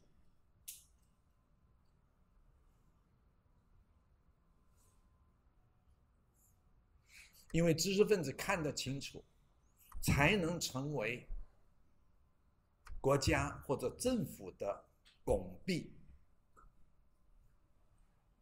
大陆说的很清楚，他说：“根据现有的这一切的动荡之后，大陆的公知恨国党，恨国党就是恨他们共产党的公知就是亲美的，在他们曾经的极左的过程中，包括邓小平开放以后，大陆一穷二白。”然后面对着西方如此辉煌的社会、文化、文明，那种觉得中国烂透了，他们算出来了，根据这一次的这个什么，一方面是清零，二方面突然开放，还等等这些事情之后，他们说百分之五十是恨国党，是公知，所以他们讲，他说，在最近的这一连串的问题，让大家看到了美国了、韩国了、日本的这种攻击性。那么，开始慢慢缩小，也就是支持国家的这个什么，支持政府的这方面的人慢慢多了，但是还有百分之五十五十，所以他说，西中国大陆的敌人不只是外在的强敌。还有内部，因为历史所形成的这些恨国党、公知、亲美派等等，他说，这一部分也将成为他们大战略的规划中的一部分，因为。没有逐步的把国家的力量跟认知凝聚，这足以亡国。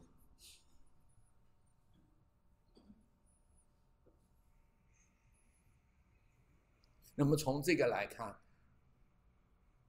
至少他们说这些话，或者授意他们说这些话的高层政府人员，是理性的。是理智的，是不自我欺骗的。他们承认做的不好，承认地方政府跟一些土豪、跟一些不不屑的人物们勾结，造成人民的损失，而中央无能为力，他们也只有暂时缓下来。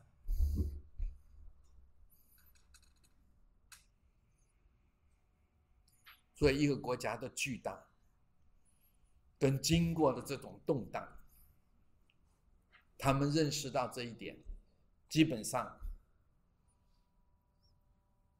算是中国人的智慧恢复了一些。读中国经典，就是恢复中国人的大智慧。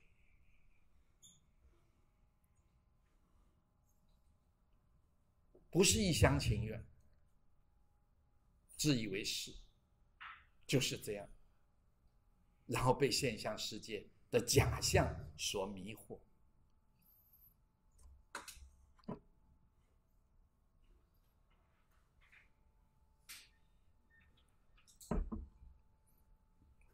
那么刚才德明先生提了问题，他说。钱先生讲老子，认为老子自私，可惜了。就在这样子的一种自私，所谓的，比如那个什么，你还记得那句话吗？我一下子忘了。就是说我因为不鞠躬，所以我躬也不去，有没有？钱先生说这句话是多余的，应该删，不该这么说。而这个就构成了老子的缺陷。老子还是。不出于阴谋之学，他说我怎么讲的完全不一样，而我是钱先生的学生，还好他没有说我背叛钱先生，有学生说我背叛钱先生，说我胡说八道，因为钱先生不在了，我就敢乱讲，写信来骂我。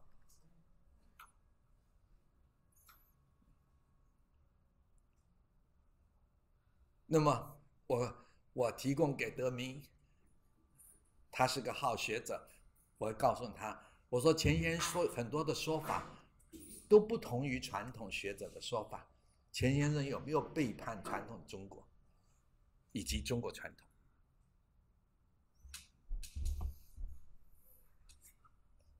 学术是发展性的，但是不离题，不离中道。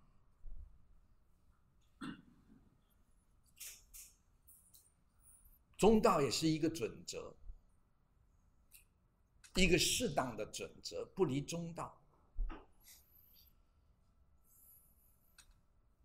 所以，我所说的，虽与前贤任在这里有很大的不同，然而，我有没有离了这违背前言的观点？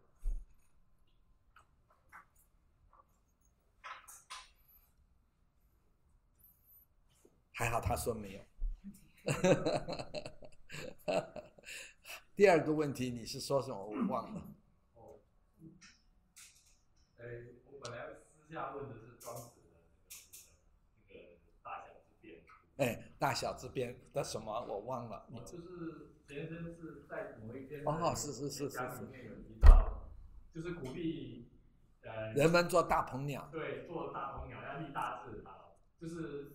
建建大功嘛，哈，那可是，在新老师的课堂里面强调是真人真人智人无己，圣人无功啊，神人无功，圣人我我把它当做阶梯，但是也提醒大家，它其实是平等的，然后它是合体的，但是它有它可以成为阶梯，然而这个成为阶梯，你也可以从。就你自己之所敬，从神人无功，放弃社会的功利观、名利观，而走向自由，走向真实自我的开展。OK，那你也可以恢复你自身的人性，展现你的无私性，自人无己，无己无私性。然后你也可以破除。你的意识形态，就比如刚才德明先生说：“我怎么跟前先的这些观念不同？”如果他说你是背叛者，就像我那个学生写信来骂我的，那就是坚守在某一个概念观念中。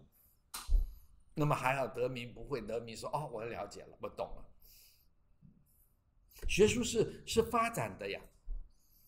不是死守的，当然不可以违背中道，违背传统，可是不是不能发展。恢复传统是让传统展现它的现代性、根本性、普遍性和智慧性。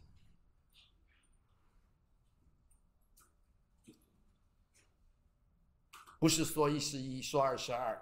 那么如此，胜者无名。你打破了这一份名言概念的限制，意识形态的限制，你就能成为一个通达者。甚是通达，以这个谈逍遥。然而如此，大鹏鸟。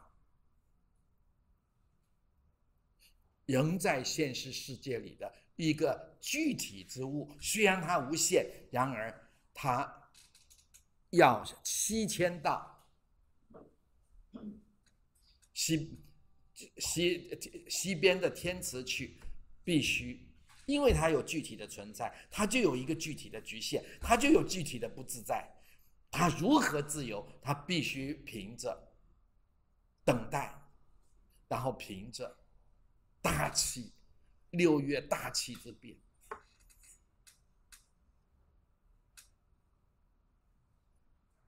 德明说，他是不是在那个时代，因为抗战，他讲这个鼓励大家，也是不敢说。我建议德明先生有这个推论，但是不要把它借成结论，因为我们不知道，也不能叫前人来说你是不是这个意，老人家你是不是这个意思，所以我们不做学问不能推论。要推论，一定有法，一定有理则，有一定有它的逻辑性，绝不做轻易的主观臆测。那么在这种情形底下，他强调大鹏，那么我告诉他，这是清以前所有对读庄子的时候都有这个看法，从魏晋南北朝开始，但是我跨越出来。我展现了无限道之所以为道，庄子之所以为道家之始，道家的代表就是他展现了这个宇宙的无限性。所以，北冥有鱼，其名曰鲲。鲲之道，呃，鲲之大，不知其几千里也。那种无限的开阔性，告诉我们，任何存在的具体性都有它的空间限制。你如何意识它，打破它？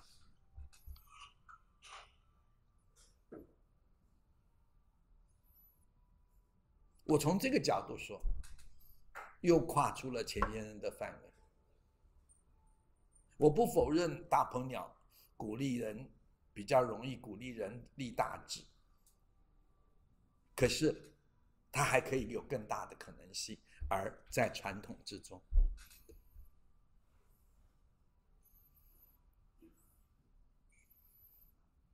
因为有人批评郭象，他的这个想法非庄子之真意，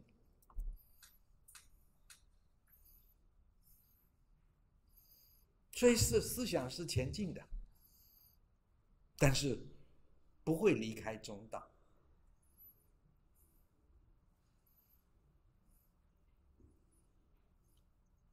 我也不爱跟人家辩驳。这是前一人所教，各有主张就由他去，顺天道而行，听听就好。哎，在教课的时候把这个思想辨明，接受的接受，不接受的由他去，不必在意。这一时的对错。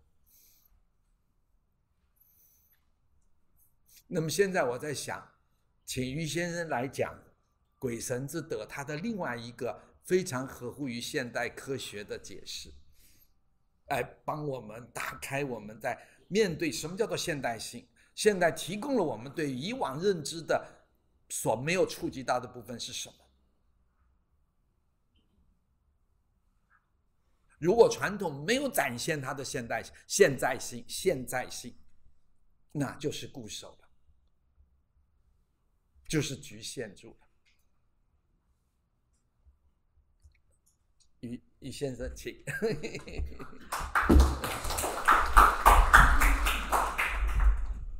不好意思，这讲到讲到这些哈，主要是因为老老师当场的讲了鬼神之德，他从生命之气、宇宙之气。宇宙的原始的这个能能动性，原始的能动性讲起。那么这个鬼神之德这样讲，那么大家可能会刚开始可能会会觉得有有一些不能够进入，但是我想。最最最最重要的原因就是，人受到这个老子说的有跟无的限制。我们活在活在这个有有的世界里面，所以会受到这个我们的感官的限制。所以中庸这里讲说。见之不能见，听之而而弗闻，那就是说人人受到了感官，受到了有的限制，而对于整个的宇宙，包括尤其是这个鬼神，你很难去体会到它的存在。像这种限制，会让就就西方科学来讲的话。它就是一个时，一个空，时间跟空间上面的观念的限制。也就是说，我们活在一个有偏向于有的时空观念里面。但是呢，所谓的时空，它是不是就是我们透过感官局限于有的那那个状态呢，在现在科科学西方的科科学上面有有有几点可以作为提出来哈，跟大家分享，也也是对老师所讲的那鬼神之德的一个旁证。那第一个就是。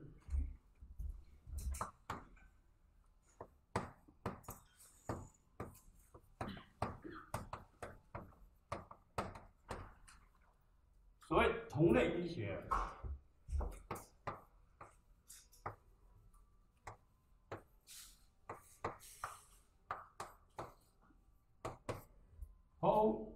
我自己，就是在德国已经有发展了两百年了。这个同类医学，这简单讲，所谓同类医学，就是说。这个药物啊，药物它有分子嘛，药的分子。可是它它使用的药物，它不是用用它的分子，而是从它的，他把这个药物一直加水，一直稀释稀释稀释，一次稀释十倍，总共稀释二十四二十四次，也就是十的二十四。次方分之一的成分，几乎这个水里面已经没有药的分子了，然后用这个水来治病，那你会很怀疑，都已经没有药物分子了，你这个水怎么能治病？哎，它就是可以，因为什么呢？因为这个水它里面留存了药物的信息。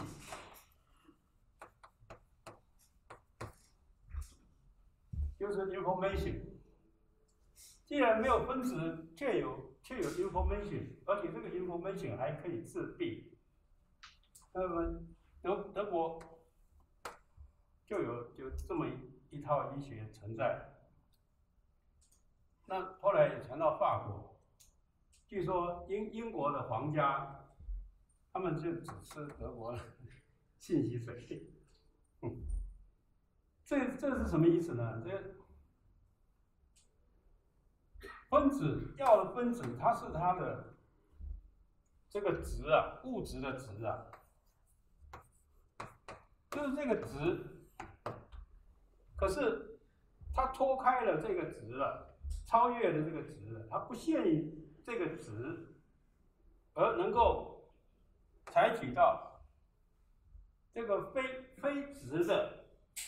那个那个部分，也就是这个信息，他能够注意到这个信息，这个值非属于值的这个存在，所以这是这这是值得我们来思考的，也是作为一个一个旁证。西方医学它也有它能够跨越值的限制的的这个部分。啊，我我们也也也值得注意到这个部分。第二个呢，就就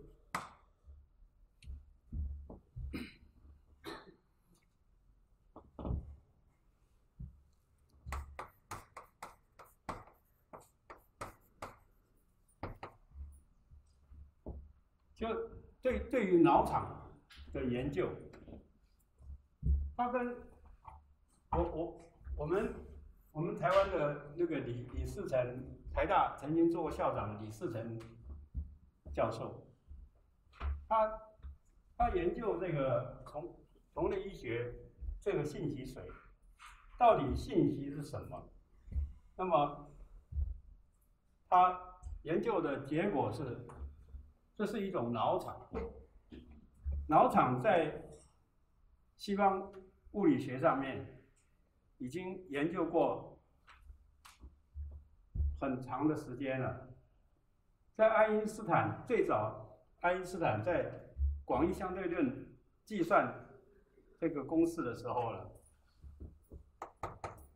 对于这每一个物体，它有本身有它的脑场，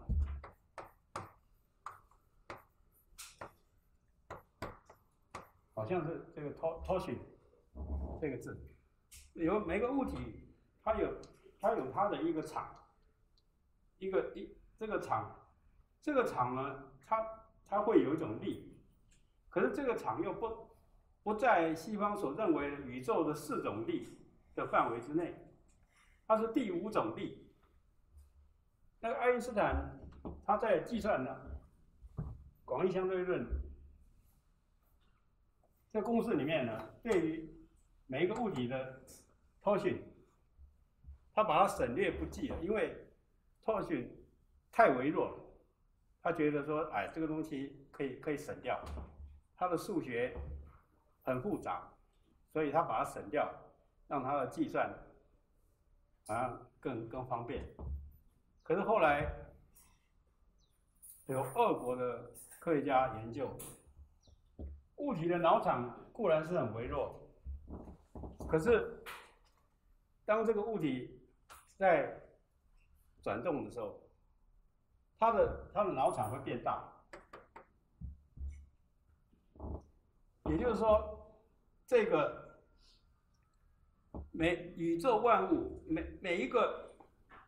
每一个物啊都有它的脑场，也就是说，它会发出了它它的这个这个场的这个力，而这个力呢，也就是说，万物为什么各有各的信息？同类医学里面对于很多种药，每一种药都有它的信息，也就是说，每一个物有既然有它的信息，而这个信息跟跟它的脑场有关联，也就是说，每一个物，它虽然也许是一块石头，它不一定是有生命的，但是它会有一种主体性的的呈现。这种这种 information，这种这种场地、脑场地，这都是它每一个物体的主体性的一种呈现。像像我我们人的生命是高度复杂的存在，所以有我们的精神性，除了我们的我们的物理生理性之外，我们有我们的精神性的表现，这是属于高级生命。但是有很多事物的存在，它是比如说像石头，它不像人这样，可是它也有它的信息。跟它的脑场力的这种主体性的一种表现，也就是说万事万物，那你这样子想的话，鬼神，鬼神它是属于曾经是高级生命，而后当他的肉体消失了以后，那你说他有没有这些基本的、基本的存在的的表现呢？晋级跟脑场力，这这也是值得我们思考的一个旁证啊。这第三个，在西方物理学上，现在研究除了量量量量子力学以外，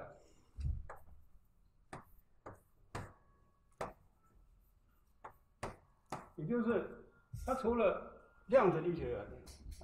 他研究引力是重力，也就是说是宇宙间所有的力啊，他发现到最后除了量量子力，还有引力，也就是重力这两个存在是没有办法统统统合了。所以他现在最最前沿的研究是说，量子力跟引力如何统合。所以这个叫做量子重力、量子重力学，或者量子引力学这方面的研究。那么，要要统合量量子跟重力的这两个领域。寻找一个最根本的这个、这个、这个本质，那这里面就要讲说，所有的这个这量子是非常非常微小，在这个微观的微观的世界里面，它的逻辑性啊，跟我们所存在的这个巨观的巨大的巨巨观的世界里面的那个逻辑性是完全不同。我我们在巨观的世界里面，比如说我站在这里，或者我站在这里，这是不一样。我不可能说我我同时站在这里，又站在这里，对不对？某某某某同学坐在那边，某某同学坐在那边，这是不同的。你不可能说某某同学他又坐在这里，又坐在那里。这个这是我们巨观世界的逻辑性，可是，在量子世界里面，那么微微小的那个世界里面，它的逻辑完全不同。它是既存在，它可以既存在于这里，同时又存在于那里，还有还有那里，还有还有那里。也就是说，它它是有这种不确定性。这种不确定呢，是说，你你通通都在，而不是说我我们测不准而已，而是它同时都在，所以没有办法测定，而不是说我们现在仪器不够精准，所以测不准，而是根本就没有办法确定，是这样一种存在的状态，这样子的逻辑，那这样的话。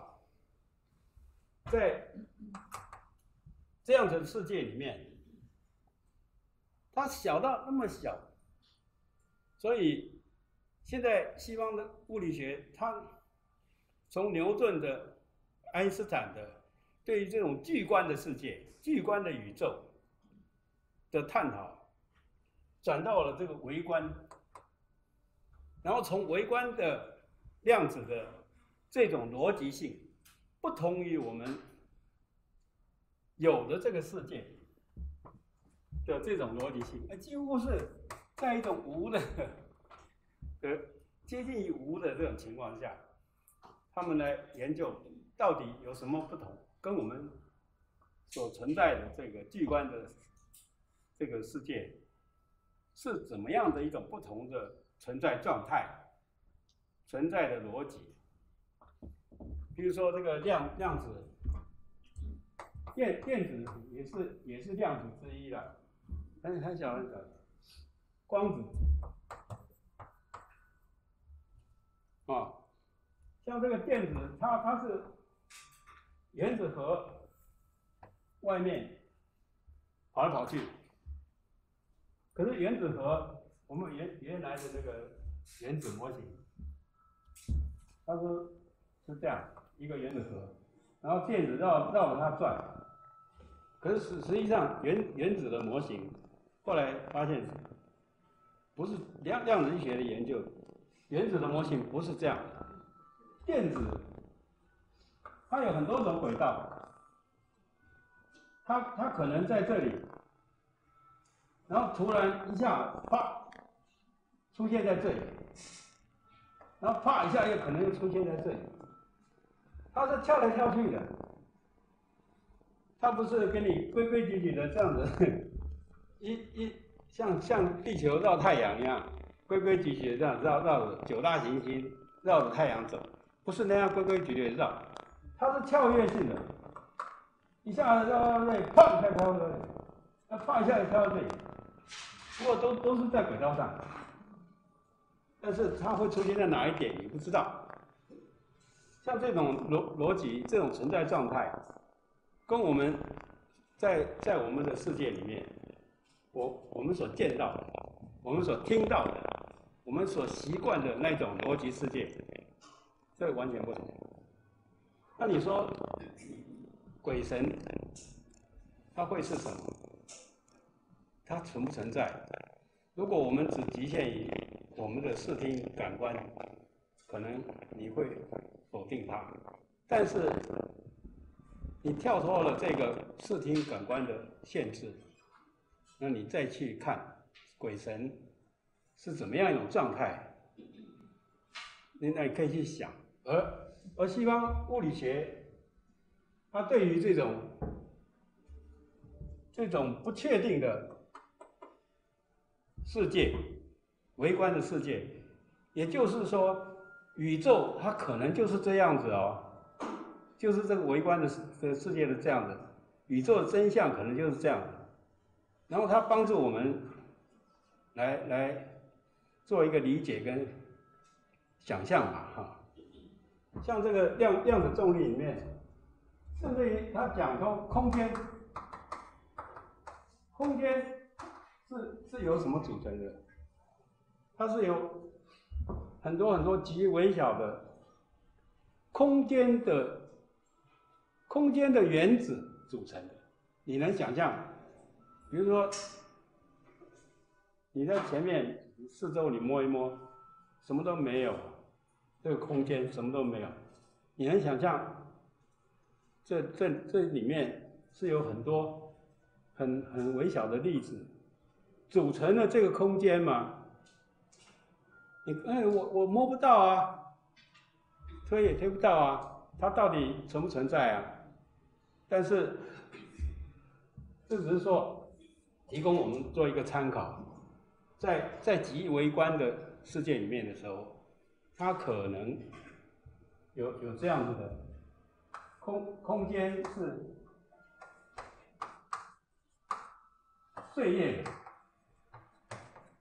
由由无数碎裂的原子所组成的，啊，这这是这是他的一个说法。那以上就是作为 这个鬼神之说的一种旁证，也是呃时空观时空观的有介绍啊。提供给大家参考，看能不能够对于我们跳脱时空观去了解、去想象鬼神，或者是理理解中庸上面所说的鬼神的的一个助力啊。以上报告。谢谢于先生，大家有没有问题要问他？那这里头有一个很重要的，我们并不是说这些都是鬼神的证明，很多宗教团体就用了这些科学性的东西来做佛的解释，来做唯那个唯识宗的解释构成的世界解释，来做神佛的解释、鬼神的解释，不是，我们只是。借着它，我们看到在现代科学上，在它也不断的发展中，他发现到这种无的宇宙，宇宙，而这个无的宇宙，并不是不存在，而是它基本上是存在的，只是不同于我们。在这样的一个透过感官知觉所面对的一个有的巨大存在的存在的认识，然后帮助我们跳脱我们现有的一切实际经验或者既定经验、既定思想的局限，而在这一章。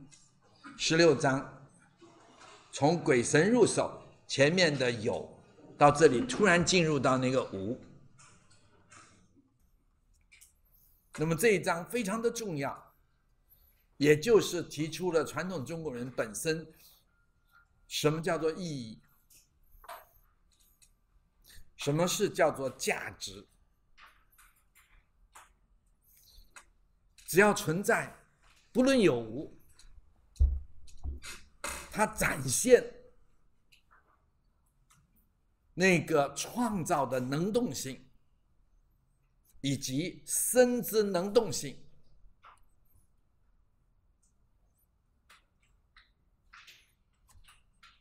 即使超越了人的感官认知，它就是存在，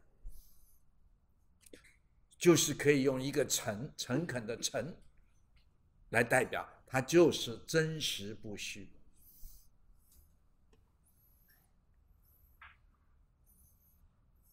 人不能够只停留在感官，也就是所谓巨观的认知中。西方从巨观的认知，然后认为它是绝对的真理，到今天，哎，突然看到了不同于以往的认知。如果朋友们觉得他的，于先生刚才所说的那种讯息，石头也有它的讯息，只要任何的存在有它的讯息。那我讲一个例子，我想很多朋友都都经验过，有没有拿那个 crystal，拿那个水晶，它就转转转转转，它就有磁力了。所以很多人爱在家里摆很多水晶，然后要借助那个水晶的磁力。来平衡自己存在的平衡性，就是这个。任何的石头，任何的一个什么的，都有它的那个所谓的讯息。这个讯息，我们用我们可能熟知一点、比较理解的，就是磁力。我们一般都讲磁力嘛。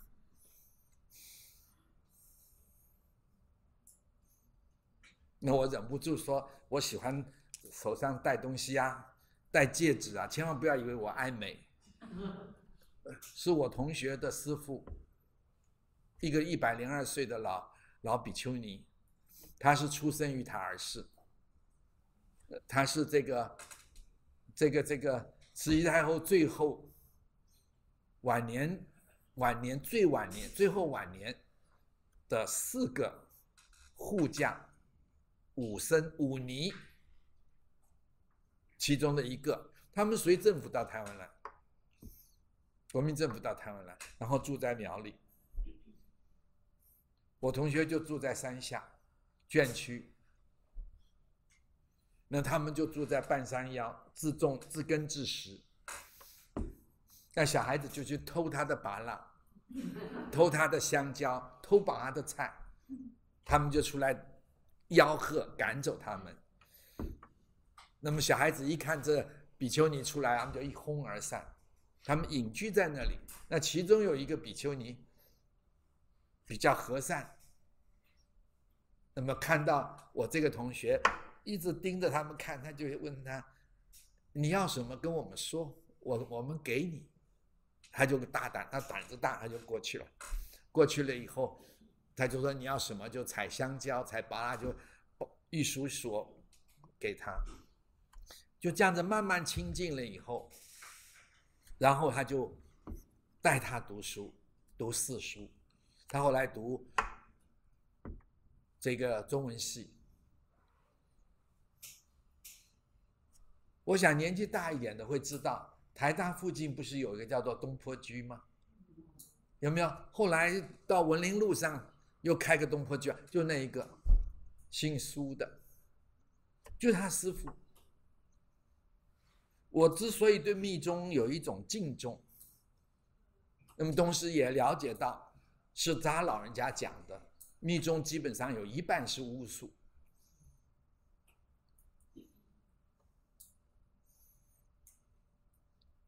所以他跟一般大乘佛学不完全不同，和小乘也不一样。那么他在他把。文林路上的东坡居租下来，那是个凶宅，但是那个凶宅不是有人在那里面去世，而是什么？而是那个方位不对，所以没人租，很便宜。只有一个敢于租的住在顶楼，一个道士，所以他就把那个一二三三层楼全租下来。他本来是一栋大楼。然后嘛，他就告诉我们，没问题的，风水是人做出来的，风水是可以由人做出来改造的。那我就想到闽南语“这红字呀”，是可以做风水的。那他就改造他那个一二三层楼，成为吉利之处。他就叫我们出去，一个多钟头回来。他拿那个罗盘，我们先出去的时候，他就拿那个罗盘给我们看。哦，是的，凶。一个多钟头回去以后，再拿罗盘给我们看，急。他把他整个的磁场变掉。那我就看，看到他每个角落当中，房间也好，屋子都放都有的东西，金片、银片，还有孔雀毛，是放在墙上。那么还有所谓的这个、这个、这个水晶大石头等等，我就问他。我说这些对师傅你所做的改造是不是也是一种助力？他说没错，然后他就说，我们整个宇宙就是一个大磁场，它并不平衡，它随时变化。那么我们人体同样是一个小磁场，我们如何维持？在大磁场中，我们这个小磁场的平衡性，他说，佛家中的七宝就是平衡我们的。你们身体不好的，应该带着，帮着平衡。有金链子的带点金链子啊，有银链子的带点银链子啊，啊，有珊瑚的带点珊瑚啊，有玛瑙的带点玛瑙，琥珀的带点琥珀，砗磲带点砗磲啊。帮助你平衡自己的身体，就像马，就像琥珀顺人的气，玛瑙增强人的能量等等。哎，这个时候讲着讲着，楼上的道士跑下来了，拍着桌子：“你们是不是来跟我斗法的？”哦，原来他的这个改造就震动到他啊！我吓了一跳。结果大家解释清楚，他说：“好，那我懂了，我知道了。”他就搬家了。他说：“你的法力高，你影响了我。”他就搬家。那在那个那个东坡居里面，文林路的东坡居里面，就有一个佛堂。一个大柜台，一个大台子，大，然后平常都拉着的，它里面就供着一百个佛头，猴猴头，猴头，猴的头，猴的头，猴子的头，一百个，然后中间有一个又像人又像猩猩的身体，是猩猩的身体，坐在那里，福家坐在那个地方。然后旁边有很多的数字，数字上面缠绕着蛇，蛇的标本，还有飞鸟的标本、老鹰的标本。他说，密宗采取大量蹦叫、引动宇宙力量磁场的这个术，所以密宗中有很多的神通。他说：“神通不是什么，就是宇宙的力量的展现。”我听了他，因为亲眼见到，所以我就带上我可以带的东西，以维持我的健康，所以也提供你们做参考。那么后来他一百零四岁，他说他要回塔尔寺，就叫我们那个同学把他送回去。他要死在塔尔寺，他是从塔尔寺出来的，他是花教，花教系统。那么，然后就告诉我那个同学，你所有的东西也就到这里为止。所以你去隐居，不再做，不要再在外面做任何的事情，我不足以保护你了。因为原先他中文系出来以后，他就去做情报去了，就到大陆上面做，呃，做间谍去了，然后几次经历生死，他都在走之前，他都把他算好，告诉他这一次会遇到什么事。最后一次，他说我会去香港等你，你受伤再重都要想办法，你要沉住那口气。赶到香港，我能救你，因为你的命就到那时候。所以等到救起来了以后，他就说辞职退休，然后做生意，然后你还有多少时间的财财运？好像办那个有十几年吧，后来不就关了？所以我看到这个以后。我对鬼神之力 不敢轻易随便说 no，就是敬重。当然，儒家不与怪力乱神，那保持恭敬。前言说的学术就是让我们对所有的这些事物保持一种尊重及其客观性。那我想我们今天就到这边。还有没有有问题的，我们就下次问了哈。我们下个礼拜还上课嘛，所以不急哈，就下礼拜再问。今天就时间过了，好，拜拜。